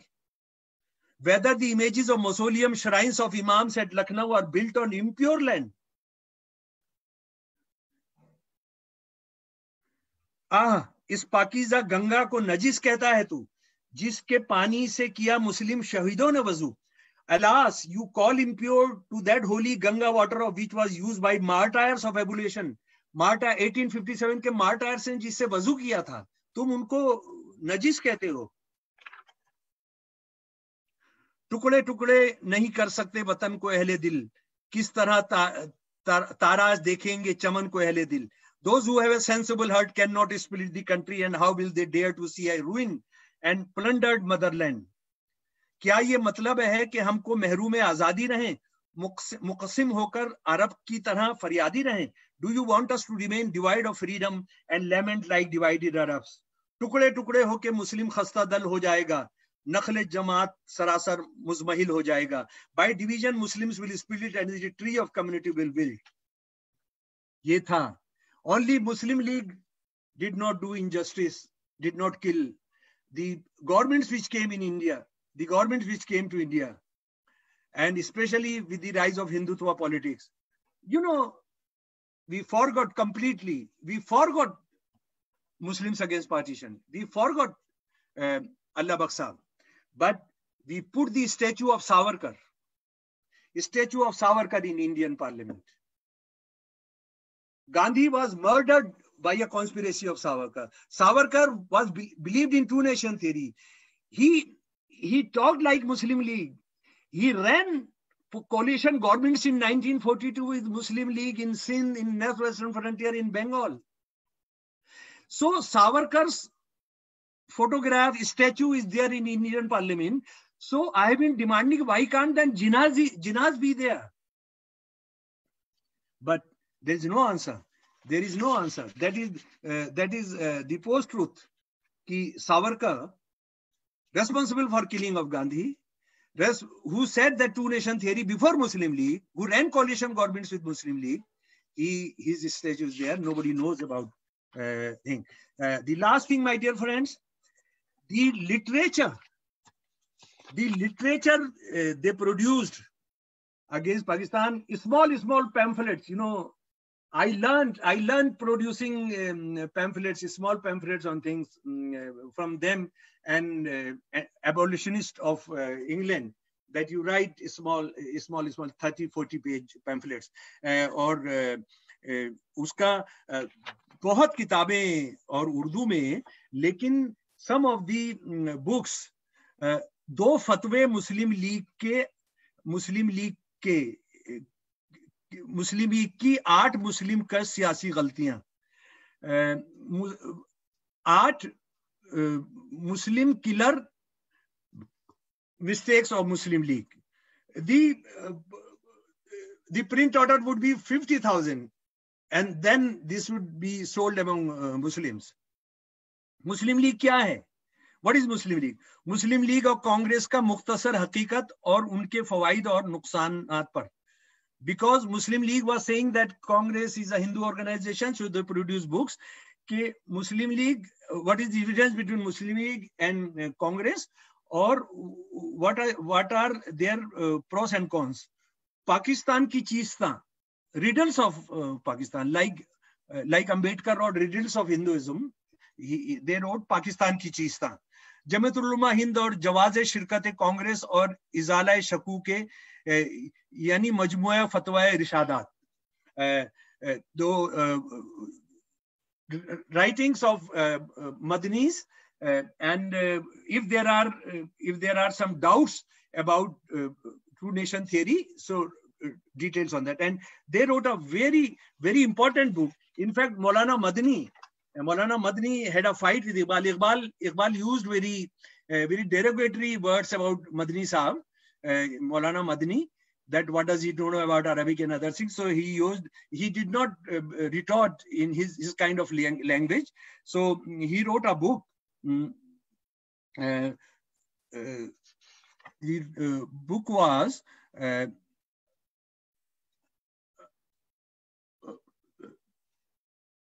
composite nation, uh, Qawmiyat. That is available in English also, but uh, thousands and th thousands copies of uh, were circulated. So my dear friends, uh, thing is that we fought, we fought, Indian people fought for a secular democratic polity, not only for the state, but a polity. But uh, uh, uh, Allah Bakhsh were killed, and not only, you know, Muslims against partition also failed due to the repression of Muslim League, due to the uh, duality of Congress, uh, due to the uh, uh, British repression, and also uh, a chain of, you know, killings. Um, Allah Bakhsh was murdered by Muslim League. Dr. Ansari died quite early. Uh, then uh, uh, other Hakim Ajmal Khan. So all these stalwarts, you know, died.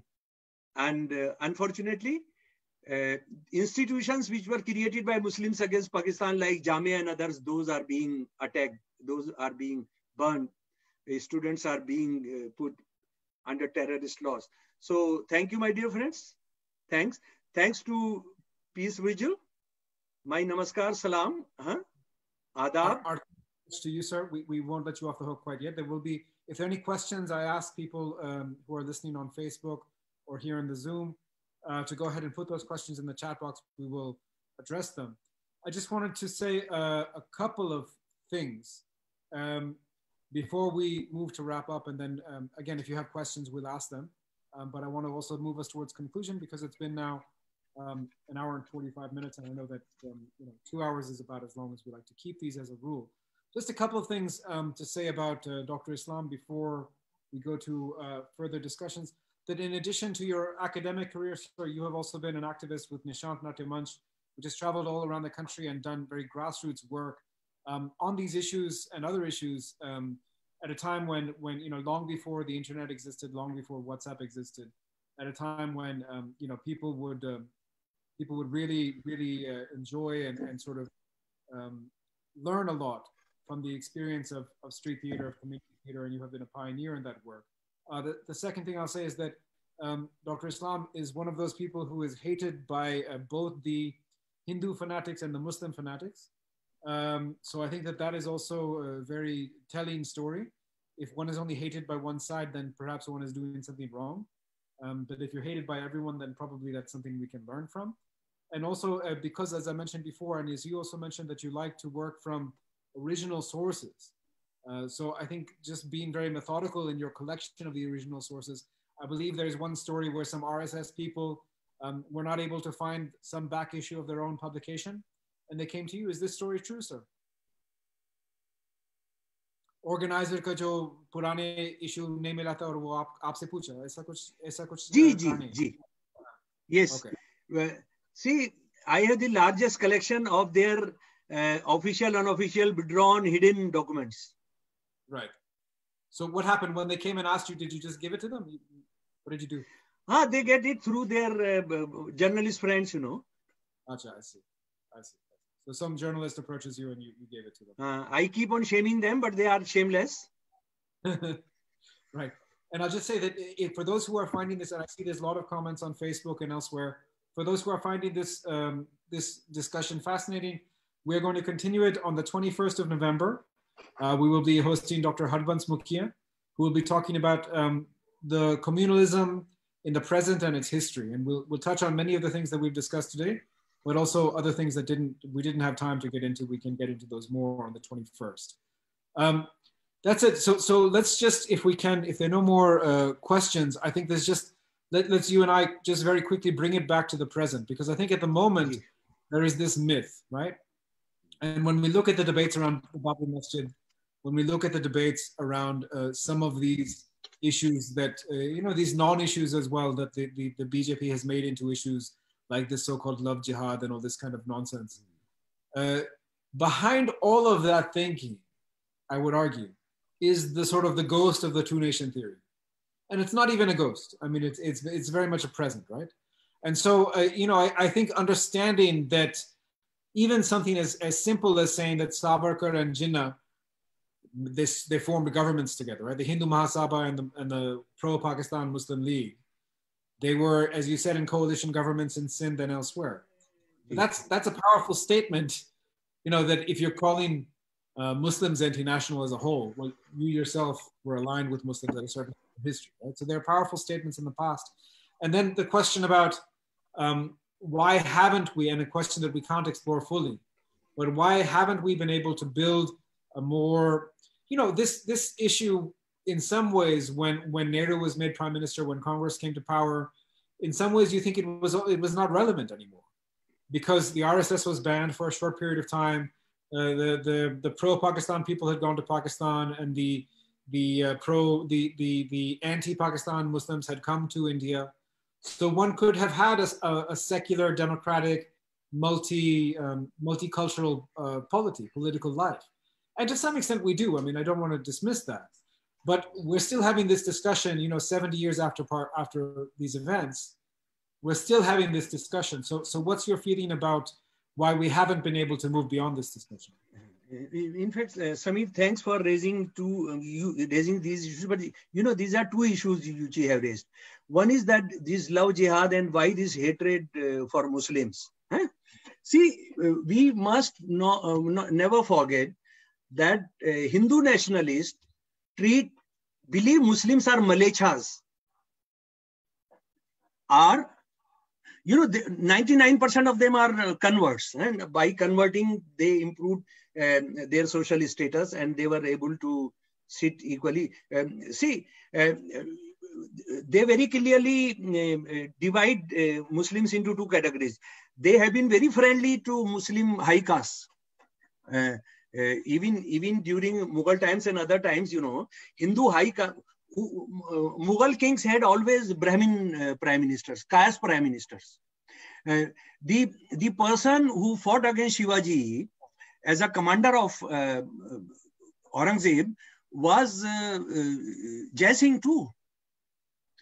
Jai Singh too was the person who gave his daughter uh, in marriage to Aurangzeb's son who, who became uh, next emperor, Mughal emperor. So they have been, but आज India's common Muslims are converted from, and they treat them as Malay. Uh, in fact, uh, M.N. Roy, M.N. Roy and others uh, have, have written fantastic, amazing things, research-based things on this. So uh, when uh, a Muslim lower caste marries a Hindu girl, so uh, they think that it's an attack on Hinduism. Secondly, they are bogey that Muslims are going to be in majority. See, Muslims rule this. This is I'm talking of TV debates. TV debates in the only only question they come out is that Muslims rule for 800 years. 800 years और उन्होंने बहुत persecute किया ये कि I tell them yes all rajas do that they also might have done that but explain one thing and all those friends who are listening if if they have doubts please uh, uh, discuss with me 800 years of Muslim rule Muslims remain less than 20%. And these 20% all also working class, lower caste. So you must you must tell us that 800 rules they could not become in majority by marrying uh, Hindu girls. And another important thing is, which which is a national hidden secret, how many Muslim girls are uh, marrying Hindu boys? Nobody knows. There is no data on this. If, if a Muslim boy marries, then that data is there. Arya Samaj, Arya Samaj runs centers where Muslim girl, where um, uh, Hindu boys are allowed to marry and they, they do a ma marriage in 10 minutes, 15 minutes. So if we have how many Muslim girls also marrying, but that data is secret. Uh, that is uh, national secret, huh? Security problem ho jayega usse. Acha. The other thing which you are you raised that is also important, very important, that uh, the India we came into being uh, on 15th August 1947, except one or two persons. Uh, this was with Hindutva uh, mindset. You know, anybody who was talking of Pakistan was a uh, anti anti India, but uh, 90% of the Congress leaders were also Hindu nationalists. My friends must read Professor Pritam Singh's one piece, Hindu Biases, Oxford University, that is, that is available on net. Hindu Biases in Indian Constitution. So um, uh, Nehru tried to put up a fight for some time, but uh, you know um, uh, he succumbed to uh, Dr. Ambedkar's resigning uh, law ministry. Uh, law minister was forced to resign because he wanted to give some share to Hindu women in Hindu property. So the India which we want, you know, the first day we should have put up the statue of Allah Bakhsh in the parliament. That should have been the first decision of in, uh, Indian cabinet, which we did not do. So we, uh, in fact, we surrendered on that day itself uh, to Hindutva again. So just to look at some of the comments, I see that, um, I, I mean, I think you've already addressed both of these questions. There's about progressive and secular forces.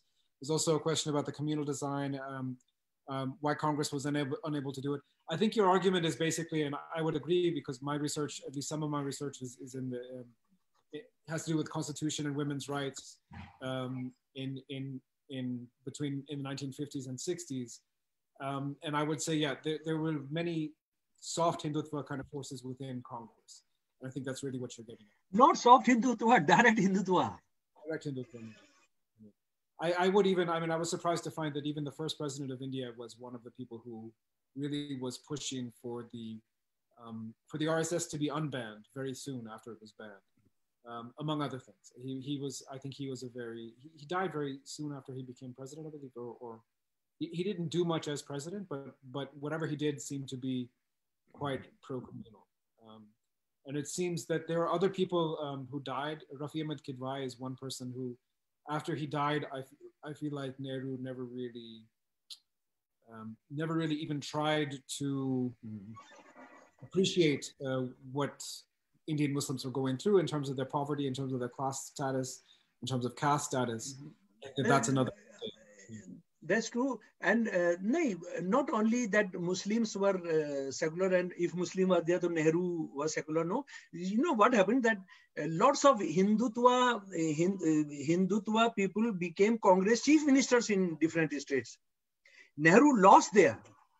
Nehru lost in states where uh, RSS and Hindu Mahasabha um, mobilized, they through intrigues and sazish, um, they they got uh, uh, pro Hindutva congressmen appointed right. as chief minister. The chief minister, and because of the, the no Babri, uh, the Ram Ram statue, uh, those uh, those idols appeared when uh, this Pant was and Pant was a RSS person. Right. Right. right. And because RSS doesn't keep membership rolls, and you've talked about this in your work, mm. because RSS doesn't keep the, the membership rolls, we can't prove even that hmm. Pant was an RSS person. We you know that we can't prove we can't prove even um, uh, Bhagwat is a RSS member. I suppose not.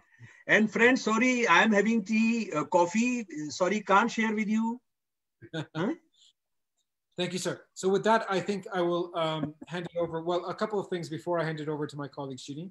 Uh, first is just to say, as I have said before, um, that this is a list of some of uh, Dr. Islam's books, all of which can be ordered online, many of which are available for download in full on uh, academia.edu. Um, so uh, there's one that's not on here that has come up in the discussion, and I put a link to that in the chat, which is Letters of Spies and How Delhi Was Lost. That's a very important book, uh, which we, we didn't have time to go into in much detail, but that talks about how um, the British used their, their, their, their network of spies um, to really uh, ensure. 1857, for those who don't know, uh, it was a very narrow thing. Britain, Britain barely won. And if it wasn't for all this spying and so on, they, they almost definitely would have lost. Um, and then uh, the other slide I wanted to share, um, these are the free downloads. Um, so, um, you know, the RSS, uh, know the RSS based on evidence from his art archives, Undoing India the RSS ways, Untouchable in Manu's India, that goes back to the Manusmriti, which is the, the text that, um, the legal text that many of the RSS people sort of cite that should be the constitution of India. That is a very terrible, misogynistic, casteist, uh, racist texts, uh, which you can learn more about in that book. Um, and then there's a number of books on India's first war of independence. Uh, one article is here, but I believe you've written uh, five or six or seven books on um, on 1857 related to 1857, and that's our email. Seven. email seven. Seven books. So with that, I will hand it over uh, to Shireen just to wrap up.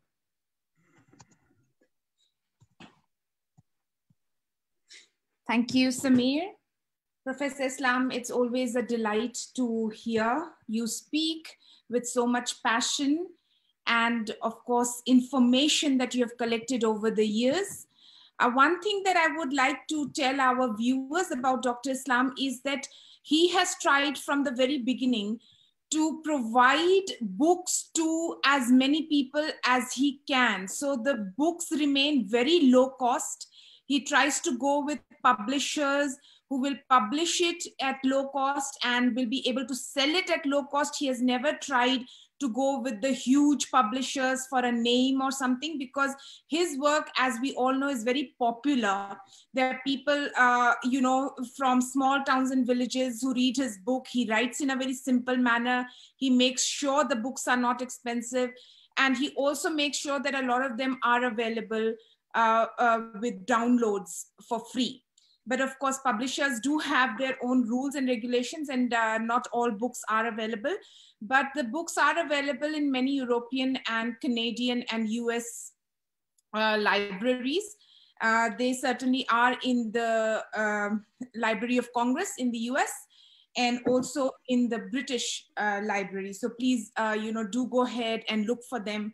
You will learn a lot just like we at Peace Vigil do. Um, I have a few points uh, that I would like to mention when we wrap up. Um, so uh, there are a lot of comments praising the presentation. Unfortunately, I will not be able to read all of them. I will only read one by Marjorie Fernandez, um, who says, thank you, Professor Shamsul, for explaining in such detail how most Muslims were not in favor of partition, how can we try and spread this information which is generally not known among many people uh, and uh, Marjorie, you have also asked to give a list of the various books of Professor Shamsul Islam, which we will do on our website, but we also did just now. She also says that uh, it is always the politicians who try to divide people on the basis of religion. Ordinary people are not bothered about religion. They're generally open to ideas and people of other religions, cultures. We can only hope that the present government's attempts to divide people on the basis of religion do not leave a permanent effect. Marjorie, I would like to say that the fact that you attended this webinar and wrote this comment is a step towards that direction. I would say that please share this, this lecture with others, especially when it becomes available on our YouTube channel. That is one way you have asked, how can we try and spread the information? So that is certainly one way. We will never have uh, people like uh, you and I, we will never have the huge resources available to say, uh, you know, uh, the, the so-called journalists who are propagandists really. So our only way is to use ourselves, you know, our voice, whatever resources we have. So I would say, please share this. That is one way. Uh, I would also request all the viewers uh, to subscribe to the Peace Vigil channel if you have not already done so. If you have already done so, please ask your friends to do it. Look at this logo here on the right side of the screen. It says Peace Vigil, Peace Needs All of Us. Very easy to find us on YouTube you can subscribe to the channel so that you can regularly watch our stuff. It does not cost a single rupee, a single penny uh, to subscribe to the channel. Please do like us on Facebook. Amazing thing is that we are also in a smaller group there where you can post things, share ideas about peace called join, uh, sorry, called good things happen too. It's very easy to find. It's a very small group uh, and you know we try and share information about peace there. Share this video please.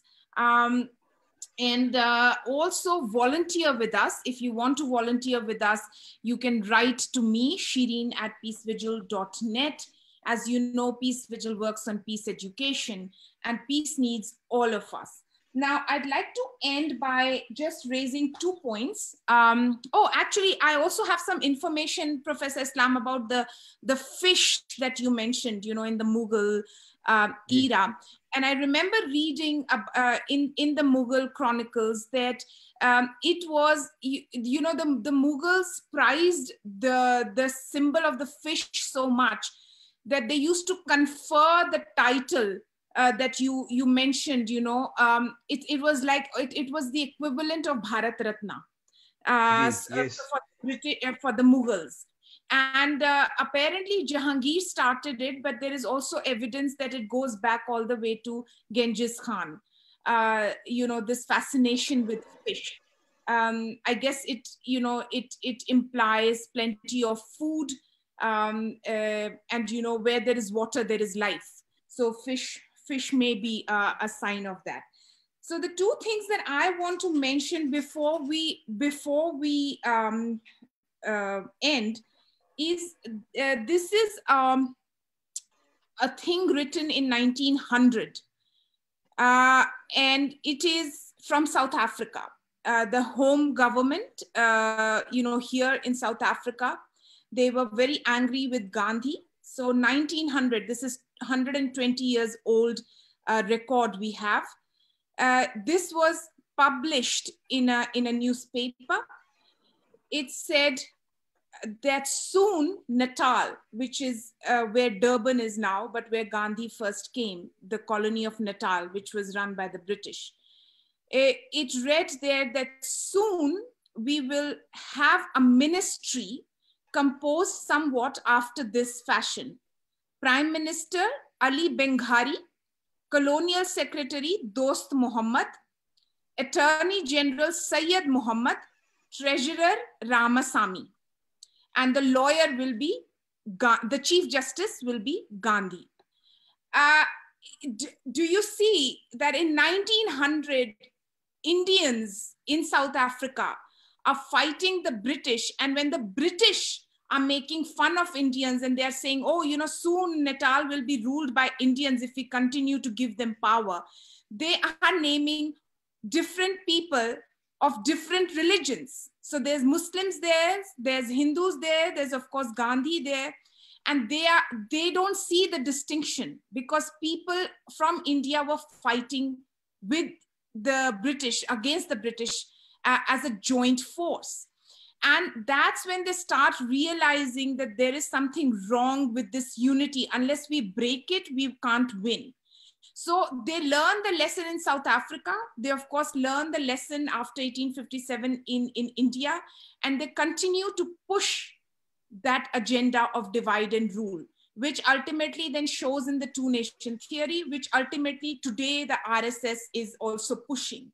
So we need to be aware of that the second thing is that we need to be very aware of our class affiliations. So um, I will read another thing. This is my second point. Please bear with me. Uh, so the second point that I have is uh, that the, the British, uh, to the argument that Indians were British subjects, which is what Gandhi had said, a speaker in South Africa wrote, he should like to know how long the sentiment of British subjects would stand, supposing these Asiatics, Asiatics by Asiatics, they meant Indians and Chinese, Asiatics were brought into Lancashire to weave cotton or into Yorkshire to weave cloth. The sentiment of British subject would be gone in 24 hours and the government would very soon be compelled to find a method to exclude these Asiatics from England and if they had to find a way, surely the colony of Natal could also find a way to exclude them. So what the British are doing are, is creating a division between the working classes, uh, which also Gandhi was able to surmount. So they are saying that, look, you know, the Indians are actually taking your jobs. They're telling the British that way back. I'm talking of this is around 1900. And this is exactly the policy that even the Indian rulers have learned. learned. They create these divisions within the working classes um, uh, by way of religion or caste and so on. So two things from my side. One is that we must be very careful that the divide and rule policy is not something new. It's existed for a long time, and we need to be very careful about it. Uh, you know, that it is used against us. Uh, religion is used, caste is used. Secondly, that it is a way by which people, the working class people, will not be able to unite because they're constantly split into, into these artificial divisions. So, with that, I thank everyone, especially Professor Islam, for all the time that he put in. Uh, we learned a lot and we will continue to learn from you uh, in the future weeks uh, where uh, we will be talking with Professor Islam on 1857 on the role of Sikhs in the so-called mutiny, but it was really the first war of independence, role of women. Uh, we will also learn from him uh, about certain other things, which are the, for instance, the Manusmriti, which he has done detailed work on. And I also would like to again remind people that on the 21st, we have uh, Professor Harbans Mukhia talking about uh, how communalism started in India, uh, its, um, its history and its, its current state. So thank you very much once just again. One, just one minute. Just one minute. Yes, please. With Manusmriti, also on Beheshti Zevar, which is against uh, Muslim women. Yes, very good. Thank you. Thank you, Dr. Islam. Uh, of course, the Beheshti Zevar uh, is, you know, as ugly and we must criticize and condemn and fight uh, religious uh, intolerance and fundamentalism in any religion. Um, uh, so, you know, definitely that. And once again, please subscribe to the Peace Vigil channel, like us on Facebook, join Good Things Happen to share this video and volunteer with us. I wish you peace. I wish you um, a good fight for justice so that we can have peace. Uh, best regards from Johannesburg, South Africa. Thank you very much. Don't have words to thank Peace Vigil. Bye bye. Thank you very much, Professor Islam.